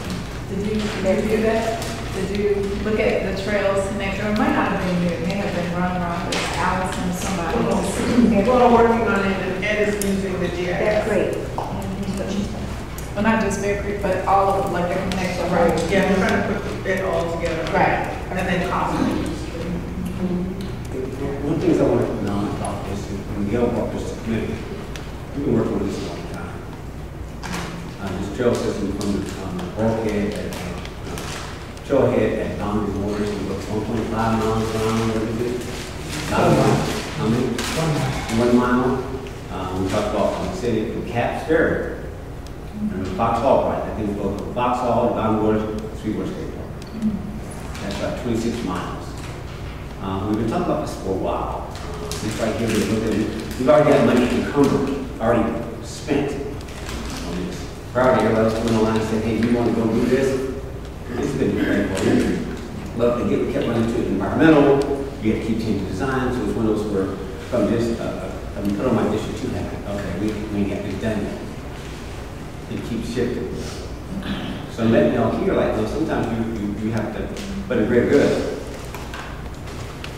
I'm getting, I'm I'm acquiescing, I'm, I'm very wide open what, what's happening. Right, it's not open okay? Like, wow, we're trying to get this done, we keep shifting, looking, we phase this out, getting more expensive and stuff, but now you're going down the rock house, and you're going all that stuff, like, okay, wow. Like, this is very good. You can't, you fall in love to the extent that you lose reasoning. Right, sometimes things fall out of season. It falls out, it misses its window. Right, because they do things in online, so they don't fall like, okay, now, you know, so that's what's out, I. I, I think, but that's important to acknowledge, that, no, it's already on the list. Above the line, funding. Some, well, maybe we've done enough. Uh, that we, we, we, we have to be accountable for spending. We have to have discussions about that. We know we're spending something that we've already spent taxpayer dollars on. Why couldn't we fulfill this? Should we keep going? That's why it's a collective decision. And it's full disclosure. So that's why I brought it to this meeting. So again, given his marching orders, guys. So you have the marching orders and we look forward to the document. Thank you. Thank you. Thank you. Thank you. All right, board commissioners, certainly we're just gonna keep pressing. Is that okay? With that, gonna keep pressing our next item, uh, certainly our county administrator will see us in our next discussions, uh, the, uh, about BOC priorities for proposed additions to the core path, we call it VRRs, but she will come and also we will summarize those uh, BOC priorities. Uh, It'll be our county administrator and I know our, um, interim director, finance director, what we're gonna do, we're gonna keep it running tab. We have about a million dollars to, I won't say play with, but something to work with. And certainly county administrator, you got the floor, and Rosalind, you have the floor as well. You're gonna give that? Both of them. We're just gonna go down the line, all right? All right, first thing on the top, one, one million and seventy-four and twenty-five is your one quarter of your, um, What, your what what is it, one million? One four, a million seventy-four and twenty-five. And so that's being set aside from the capital of three point three four eight to ten. Um, so I guess the, um, I'm not sure how you do it here. Do you go around the room and kind of, sorry. And each of you give me what you, you know, you have on your list, on your tab, and then we kind of add that up. Yes, we do that, but, uh, if possible, if you could, uh, Excel. Do you want it on the screen? So she can get it, so Okay, can let see. me You want it on the screen? Yeah. Yeah, on the spread, please. What you're probably gonna connect it to the projector Oh. for this one. Oh. oh I guess you'd have to stand there and just kind of key it in as we go along. Can we start the discussion? Yes. We'll catch up with the. Go for it. Can I go first? You can, I'm, I'm just waiting over. We're fine. Okay, go for it. Go Yeah, for however, whatever, but- because it. you You have have to the floor, do Vice this, Chair. they're gonna say, you know, what You must have got the computer, it was Okay, I'll just go to the, Vice Chair? Vice Chair, you have the floor. Yeah, all right, all right, so, um, three things. Um, Operating budgets for the district commissioner, county administrator, and the chair. Distinguishing the difference between general government. In other words, for our, each one of us have distinctive offices, we have distinctive one-person support personnel. We need to make sure that we have conversation about, we're consistent, like all department heads, all constitutional officers, all elected, there's consistency. And I'm- staying on doing a retreat, again, I've got an excellent memory. Rosalind, we talked about having, um, having a distinction during the contingency conversation. We get this on the floor, did you remember that conversation? Okay, I- I, need you to hear me. All right, so during our retreat, um, we talked about, we set aside money for contingency, we said break it out by district committee, that was a condition. yes. All right, We're just extending that further into the normal budget. We make, we make sure that we're consistent. There was some conversation about whose authority, I'm glad we got a new attorney here. There needs to be a clarity, uh, with, with with the White House. Hold on, he said that. All right, I'll just sure y'all catch this, that this is important. We might want to say this one time, I'm, I'm gonna get this out here. Um, we talked about the need to have clarity of roles. I want to call White House.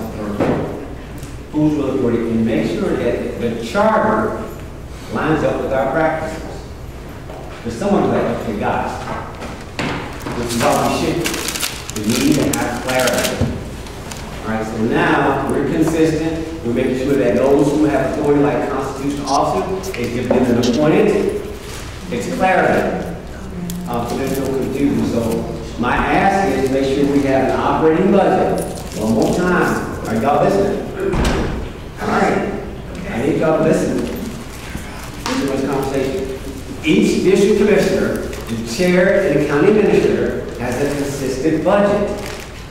I'm just picking the number hundred thousand, y'all will pick the number, hundred thousand, which is different than using the general fund as if our own operating budget. This is gonna line up our signing authorities that we just did, the attorney will be here, he'll to make sure that our roles are clarified. All right, so that's, that's one. Can I get clarity?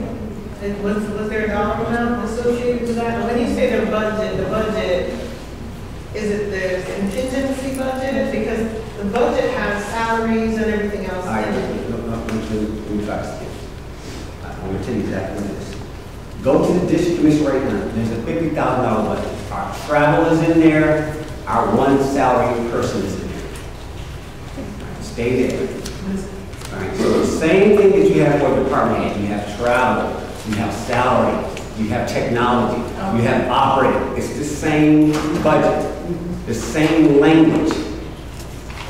It's, it's the same. Make that work, we just, we just evolved this, it never existed before, in the sense that we didn't have this for the district commissioners, it's like the Congress side of the house.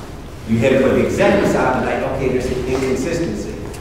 And there's, there's there's confusion about what the role and authority are, like, wait a minute, we're duly elected with officers. We're being consistent because each one of them has one person that supports us. Right? We're not talking about what you have command in the organization, which is broader. We're talking about the White House, the third floor. One person, so it should be about the same. Right, so we talk about expenses. We talk about all those things, we line our, our travel, our education. Same line item anybody else, that's just mine, I don't want to belabor this. This is not hard, this is accounting. This is accounting. Same structure as everybody else. The dollar amount, we- now, I'll pick a number, you want a hundred thousand, fifty thousand? I, I, I say a hundred is an easy number, but we'll stay there. All three, district commissioners, county administrator, chair. That's separate, and, um, you, you guys have the authority to take the general fund and move stuff around and make stuff, like, no. It's gonna bring me to my second point. Uh, again, I need, the county attorney mentioned to help clarify this about, like, okay, again, I gotta keep moving. Hey here, look, I'm, all right, we're good, y'all got this film, right? Look, say, um, it's important that we understand our role. It's concerned about, um, you know, it's always about reporting and how things are being spent. Right, and there's sort of like a, a misdirect about focusing on Uber and travel, like, okay, look at this thing. Unless it lines up with what we already approved on the budget, it should not be spending.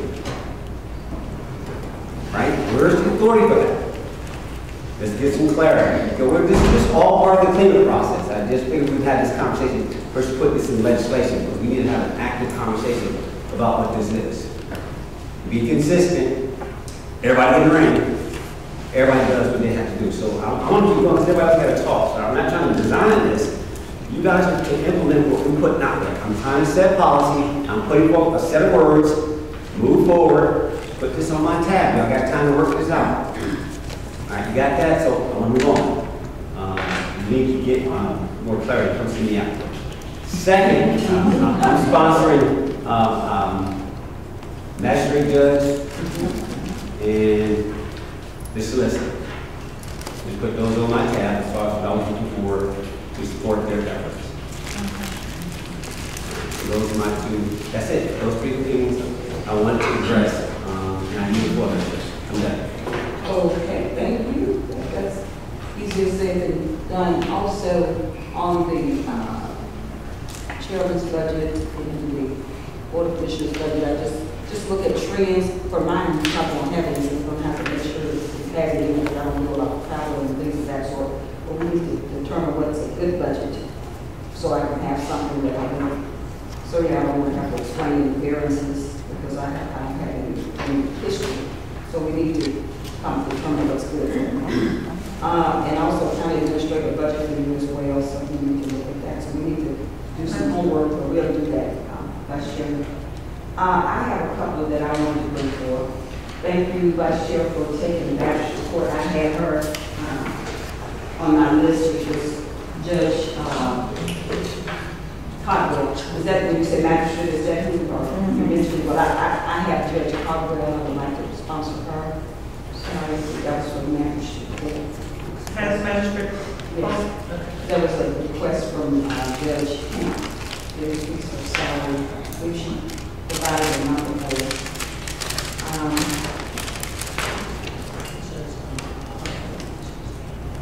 The, um, the code enforcement, code enforcement one requested FTEs um, to adequately run their office. The tax commissioner, one of the deputy uh, delinquent tax assessed, um, tax person. The tax assessor, so he needs some three. And this is all money maker, making opportunities for us for the commissioners. Tax assessors, he had requested, well, how many FTEs was it, three? I believe it was two and Two. an upgrade to this person to make seven deputies. Yes. And then also, we have a problem, uh, should I, we need to address the disparity among our employ- uh, directors. We have some directors that are making a platoon of forty-five thousand dollars, and we have other directors, some directors making up to at least hundred and ten thousand, so that's a huge disparity.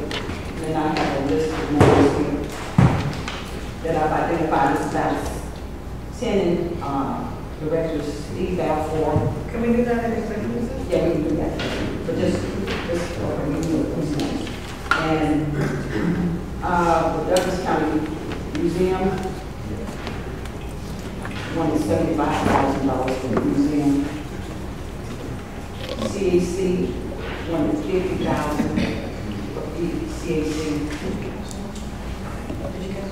I'm sorry, how much was museum? Museum, seventy-five thousand, they didn't get anything this time. They were just. It's not on the list. That's what she wants to sponsor. It's not on the list, I don't think it's on that list. But she wants to sponsor. I'm trying to sponsor I it. said we don't know what they've asked. Some of those. She didn't, yeah, they came and presented during our last meeting, and they did present, and she, she didn't have to ask, she said she just needs some money. I've been talking to them, she said they needed money, because they don't have anything in twenty twenty. But do we, do have the list of you're, you're talking about? We can't remember the thing that said it that way. I, I know you don't, that's why we all have our own different list to sponsor. Okay, but think about the policy that we just passed. Right. That policy states that in order to get money from, from this board, you have to show us data. You have to give us an audit of what you Right. spent and use those on. That goes for Ms. Suzanne as well, Madam Chair. You just can't throw money at her. She provides those reports monthly, right? I have seen those reports, those top reports. That is one of the reasons why I pulled back from her, and she still doesn't have it. Now, I, I understand you like her, but this is taxpayers' money. You cannot keep doing that. She either needs to get somebody in-house that can actually help her do a spreadsheet and not give us what she keeps giving us. I've seen this. I was going to also, if, if our county, um, assistant county administrator just chime in a little bit, you met with Suzanne Hudson, and you identified that as a county, just can you explain The, you the building is ours. The people and the, the, the, um, the contents is not. The building is ours, so the park service is in there, so we pay the lights, we pay the rent, whatever little maintenance we do over there. That's coming out of our budget, is it not, Madam Superintendent? That is coming out of our budget already. What she wants is her salary and somebody else's. And I- Yeah, and I've asked her, what have you done for fundraising to do that? You are a five oh one C three. She couldn't give us an answer. I, I, I love that you love helping people and you have the biggest heart, but this is business. But- And sometimes you have to separate that. That's all. I'm not fussing at you, I'm not fussing at this board, but we've done things and we've operated. But aren't we, You know. but aren't we doing some kind of policy, and I, and I apologize, I walked out and I'm coming in like, wow. Uh, Aren't we within the policy structure, at least that's moving forward, and I don't know, I can't say exactly what we are. Isn't that a part of what the policy structure? Okay, that's fine. So I'm a little baffled as to, not that Madam Chair can't sponsor anybody you want, or anybody who they want to do, though, but however, if that's to be policy, why, I'm trying to understand why the sponsorship of, of contra- contradicting the policy that we just get ready to put in play. I maybe, you know, speak up, I mean, The policy will take effect in 2022. Certainly, if we want uh, the museum, and I have even gotten CAC, and I know they provide the courses for the cultural arts center. If we, maybe we need to develop, to develop a form or something that we want them to provide to us, but we need to, uh, and I'll work with Tiffany on that, but I- I'm just trying to, kind of tell you what's been come to my attention. We're just Advocating, but if we don't have enough money, we don't have it. We just, I just put it on the list. And then last but not least, Vision 21, and I always have it on the list. is the 1,000. That's it. Sorry, Madam Chair, could you tell me what the CAC and the Vision 21 dollar amount was? Uh, CAC is 50, because we provided one 105 last, this year. 50. So they got that one on five within the last six months, right? So we would spread the fifty out over the next year. And they did give us their financials. Two installments? I don't know, that's why I'm asking, you spread that fifty thousand over twenty twenty-two, she said. Because they just, like, within the last six months, they got hundred and five thousand. Right, I believe it was one ten. I believe 110. Yeah, it was one ten, and that was the total of the contract. So we did pay up to, um, the nine months, and now we're doing monthly. So we call them up when the, um, board approved it, and then, um, each month, you pay, make the payments. Yeah, the tw- because the contract was a total of hundred and ten. For twelve months. So are you saying fifty total, Madam Chair? And then also it came from, um, the uninked fund, it didn't come from general funds. That's what I'm asking, is it, is it fifty on top of the hundred? Right, that's what I'm already have, or are you just talking about, we're, we're I'm just saying, it fifty or because that, that one ten was for twenty twenty-one, and this fifty is for twenty twenty-two. Okay. That's what, what happened, that's what, that's why I reduced it, because we had quite a bit in twenty twenty-one. So I just said fifty thousand versus another hundred, hundred and ten. I didn't want to make them too, uh, comfortable with that hundred and ten. Fifty thousand, and they still have to provide reports. But this money is where, see, see, this hotel, motel tax system. Right. So No, this, this, is, this is not the rentals because the hotel, hotel tax, we weren't able to utilize that because of DCTT now, because that money is. I said, but, but where do we stand? Just because you opt, you appropriate for it, did remove the need for this money to still get future funding. It- It's two separate things. I want to make sure I'm saying what I'm listening to. This is why I want to have details. To be able to say, okay, well, what's over there in the hotel, motel? How is that? doing? All right, I mean, we want to talk about uh, museums and all that stuff. Like, oh, guys, I'd see the details. We're just talking abstract. All right, I need to see the details, see what I'm talking about. Now, I'm this is your tab, you put on your tab, fine, I'm not, not debating the moment, I just, it makes me like, okay, guys, what, as we going around, I'm like, like, it makes it seem like we're talking about the fund balance, like, no, you're talking about separate funding source. It's hotel, motel. Well, no, she, no. No, because the hotel, the, I know you said hotel, hotel money, absolutely not, because it's all, uh, uh, the DCTT. That funding is not very easy to obtain for either CAC or either the museum. So, uh, the DCTT, that's on that board as well. We are funding things like life signage for the building, things like that, but we are not actually allocating the dollars. So do we have, may I ask a question? Do we, what, what is our portion, because we as a county get to keep a portion of DCTT, how much is that? It was thirty-six percent, and that thirty-six percent was paying the, um, one hundred and ten, um, dollar contract. Ah, so we utilize all that on CAC. Right, well, it was a, um, portion, I believe it was two, um, was it two contracts or just one? It's called your bar, it's two, wasn't it? Yeah, it was some more in there, so what we have to do, you can, um, the thirty-six percent from hotel hotel, we, um, move that to the uninked fund. Gotcha. Once it's in the uninked fund. Then you can distribute it how you want. Right, and then that's where the one-ten contract is being funded. Okay, so what Madam Chair is asking for, what any of us us would be asking for, because I think we're all in agreement that we do want to, we do want to fund CAC, it would be coming from that. That is correct. Yes. So, is it enough room for the museum? So I pulled, um, the hotel motel, um, proposed for twenty twenty-one, we're anticipating eight hundred and forty thousand.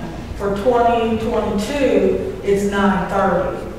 So, um, sixty-six percent will go to DCTT, and the remainder will go to the, um, uneven. Is that be the remainder? What is?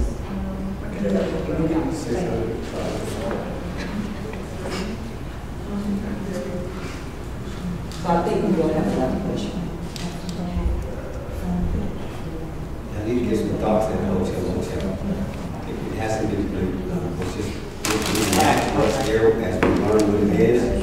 But don't need to be thought the are state rules and how we have to apply, them within that, our discretion.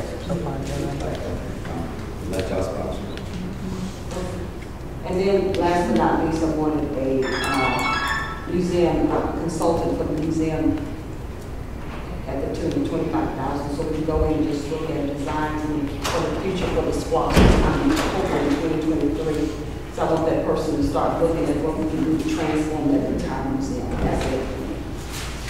25.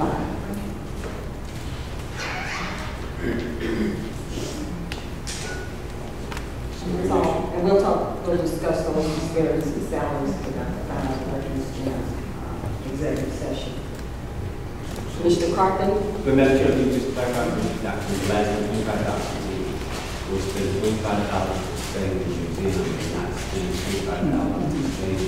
future needs space. We're good. I didn't hear you. I got you. I just want to make heard I know hear you. Okay. See, I it out. The, the question was asked, what's the percentage? If we're it's estimating nine thirty, thirty-six percent is three thirty-four eight. So it's three hundred thirty-four eight hundred. That's what's going into. That's right. Because the other portion is already they were allocated to these, and they fund everything under what the state of Georgia states that we have to do set for. Right.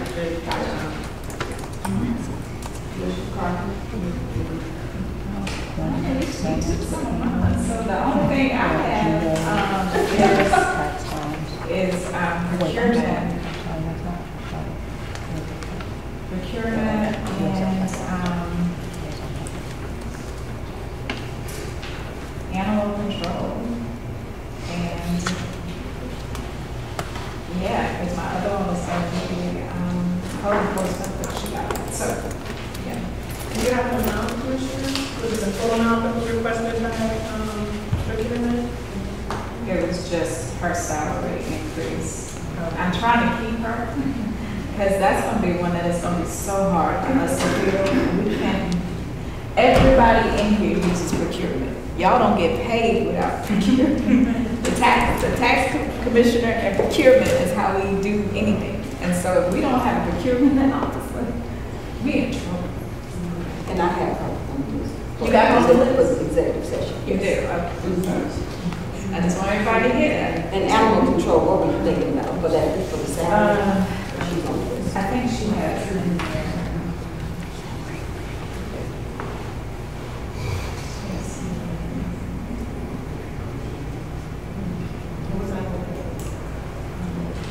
Thank you, Dr. Um, see you. Thank you. Eight seven two. You have your margin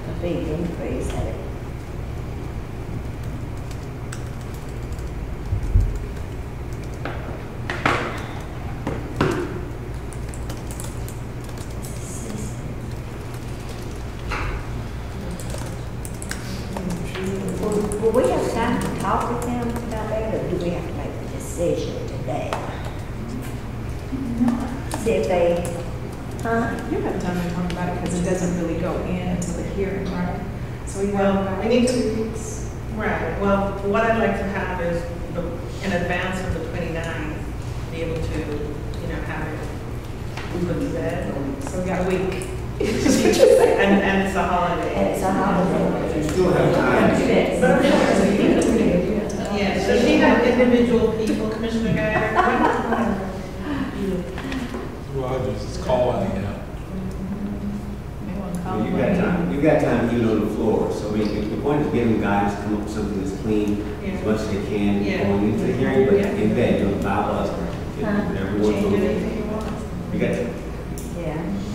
go back and talk. I'd like for them to choose their priorities. Okay. But what I'll do is just put it on the list and put an, an amount to be determined, is that okay? Well, on the, uh, the juvenile court administration, uh, you can go ahead and put that whole thing, because all of that is um, salary increases. They went over every one of their employees that needed it. And put the other one to be determined. Got it. It's your list, your time. And I forgot, I forgot planning and zoning, they asked for seventy-five thousand for the EDC. Say again, Commissioner? Seventy-five thousand for P and Z. Yeah. Like they asked for that. That, um, right, the study for the, Are we finished compass. Let's see the comprehensive. Yes, that's it. It's seventy-five thousand. You still working? Well, there's also an additional juvenile court, I don't know what they're, they're broken out, like, one says administration, the other says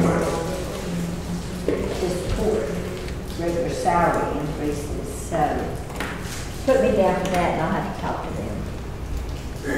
For the admin, juvenile? It just says one oh one, um, juvenile court, Department two sixty.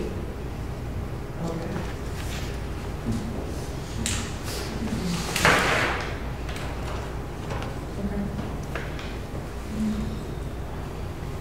then got all of the juvenile court. And I'll, uh, I'll leave in closing, I review the list, but however, all of you guys have actually kind of put on here is, is probably the tabs I would actually said, let's, let's kind of take a hard look at. it. So what I'll do is, if there's any additions, I'll, I'll add it to twenty days, I want to really take a hard look at it. And, but I can say we can kind of move forward, we got, it, but we're moving on right now. So, and take a look at, you know, we'll take a look at what that is. I'm not saying I agree with all of it, but, you know, it's worth a conversation. Combination of three. I Got a question, if, if, in the sheriff, um, did we, um, he had, I talked to him yesterday, and, um, again, he was congratulating us, giving us the efforts, he's, um, symbolically on, on investing, um, obviously, around town. Um, my question is on, um, he asked, he, he said he put off, he, he wasn't quite sure, he submitted something regarding the program, specifically social justice, uh, fifty thousand dollars. Did that, did that make the budget, y'all? It's in the article. It's in the article. That you approved. For social justice? Yes. It is. I, I just saw it. Y'all y'all know me line the list up, maybe on something else, that's what I'm asking. All right, I'm good, that's, that's all I need. I forgot two things. I'm sorry. Little pickup, that we, we, we make it, I know we have six mowings, uh, mowings this year, for the commissioners. We typically have three mowings, so we increased it to six, uh, because you all know what the roadsides look like in the summer. So what about the little pickup? Did we make enough money there for little pickup? Because the the inmates have not been able to help us because of the the pandemic, and I'm just not sure we're not going to help us move into twenty twenty-one. So can you, so we have money baked in the budget? Yes, both Little Pickup and Thorn. Okay, I just want to make sure, okay. And then I believe the board from the chamber, chamber presented, uh, vice chair, they talked about the small, the small business initiatives, what they want to do to elevate incubators and co-working spaces. I heard, um, Sarah Ray mention fifty thousand, I, you know, I asked her, she asked, she's around fifty thousand, I'm not sure if it's something you want to put on the tab on this. I think, um, when I met with her yesterday in her new, um, right at the chamber luncheon in Gasoline, um, they asked for two hundred dollars for me. And I wasn't moving, just was the numbers. And I looked, and I just like, so, all right, so put, put down, um, chamber, again, go back to hotel motel tax, give us, I, I need that, to my general fund. And I know it's not part of the unaimed, but the source and how it sources through is from over there. Can you guys put, um, it's a range between fifty and two hundred thousand dollars for chamber, just put it. What was that? Narrow it down. So what do you got that uneat remaining? Um, You know, you said, I mean, probably had three hundred and twenty-six thousand Yeah. total. Um, museum, CAC, Vision twenty-one, museum consultant, that's up to hundred fifty-nine thousand. And you have three thirty-four, eight hundred. It's a fifty, two hundred, pick, put a hundred. A hundred thousand. I'm just making this up. Yeah, you're doing good, you're doing well. I think that's it. I think I found it. Oh, one other thing. The development authority wanted an increase of twenty-five thousand. That was something you mentioned, and I was just trying to remember all the asks, and that was it. And I'm done. They wanted to increase it from, uh, Did the get chairs? Is it in the? Oh, chairs. Chairs.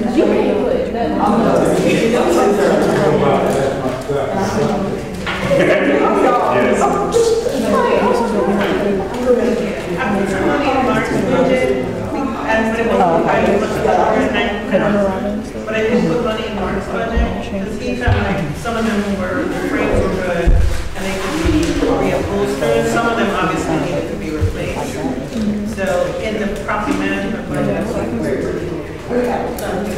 And the audio, audio, but, uh, courtrooms.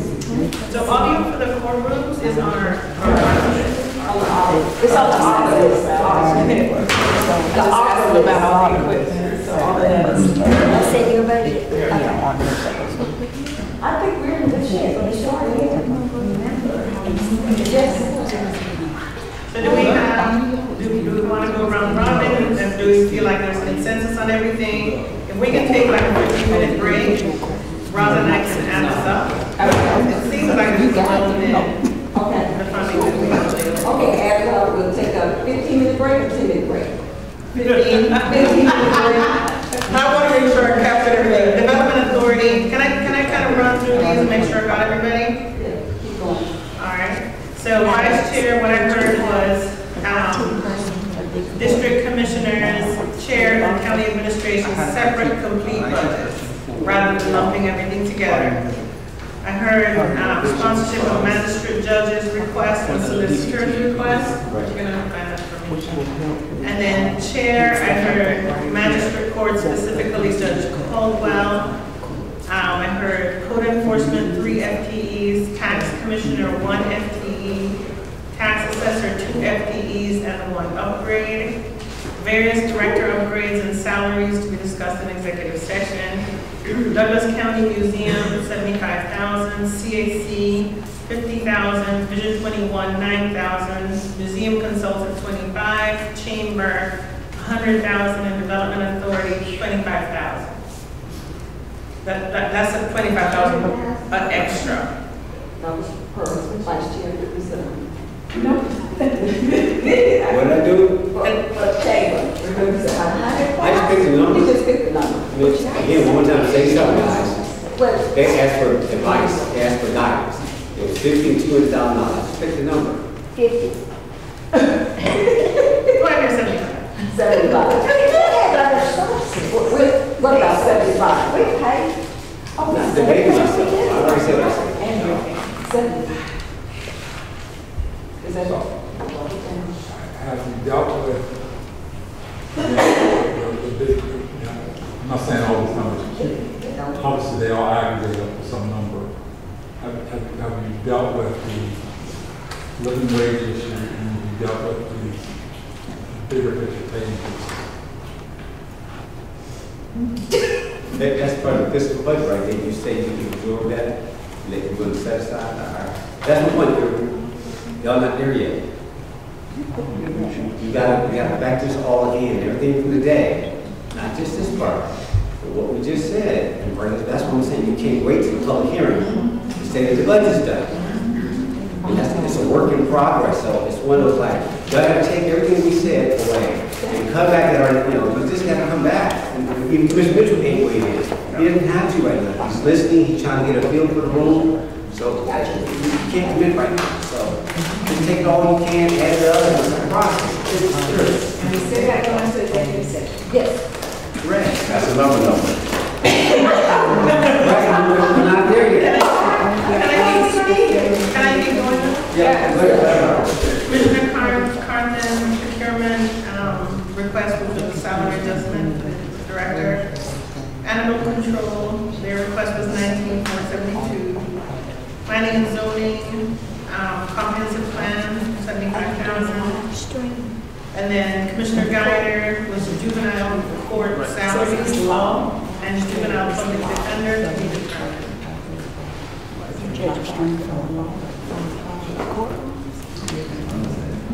Oh, yeah, shit, technology. That's what I need. It's part of the job, yes.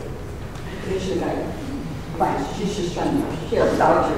I was asking, I've got notes. Juvenile court salaries all and juvenile public defender to be determined on, the- on your list.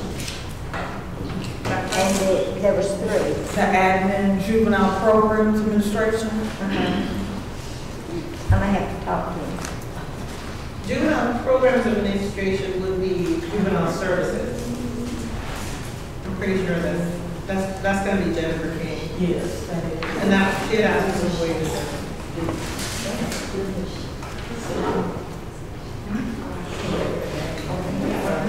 I know you're talking about.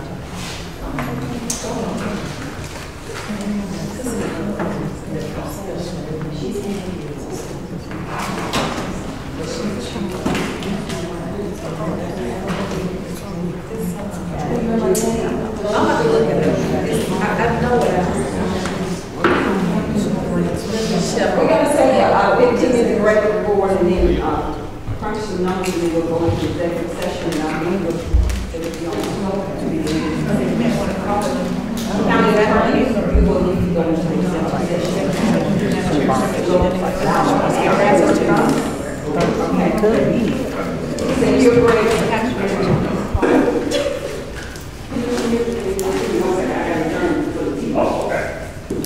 And we have the numbers for you too, so, What are the numbers? um, Ross worked on them.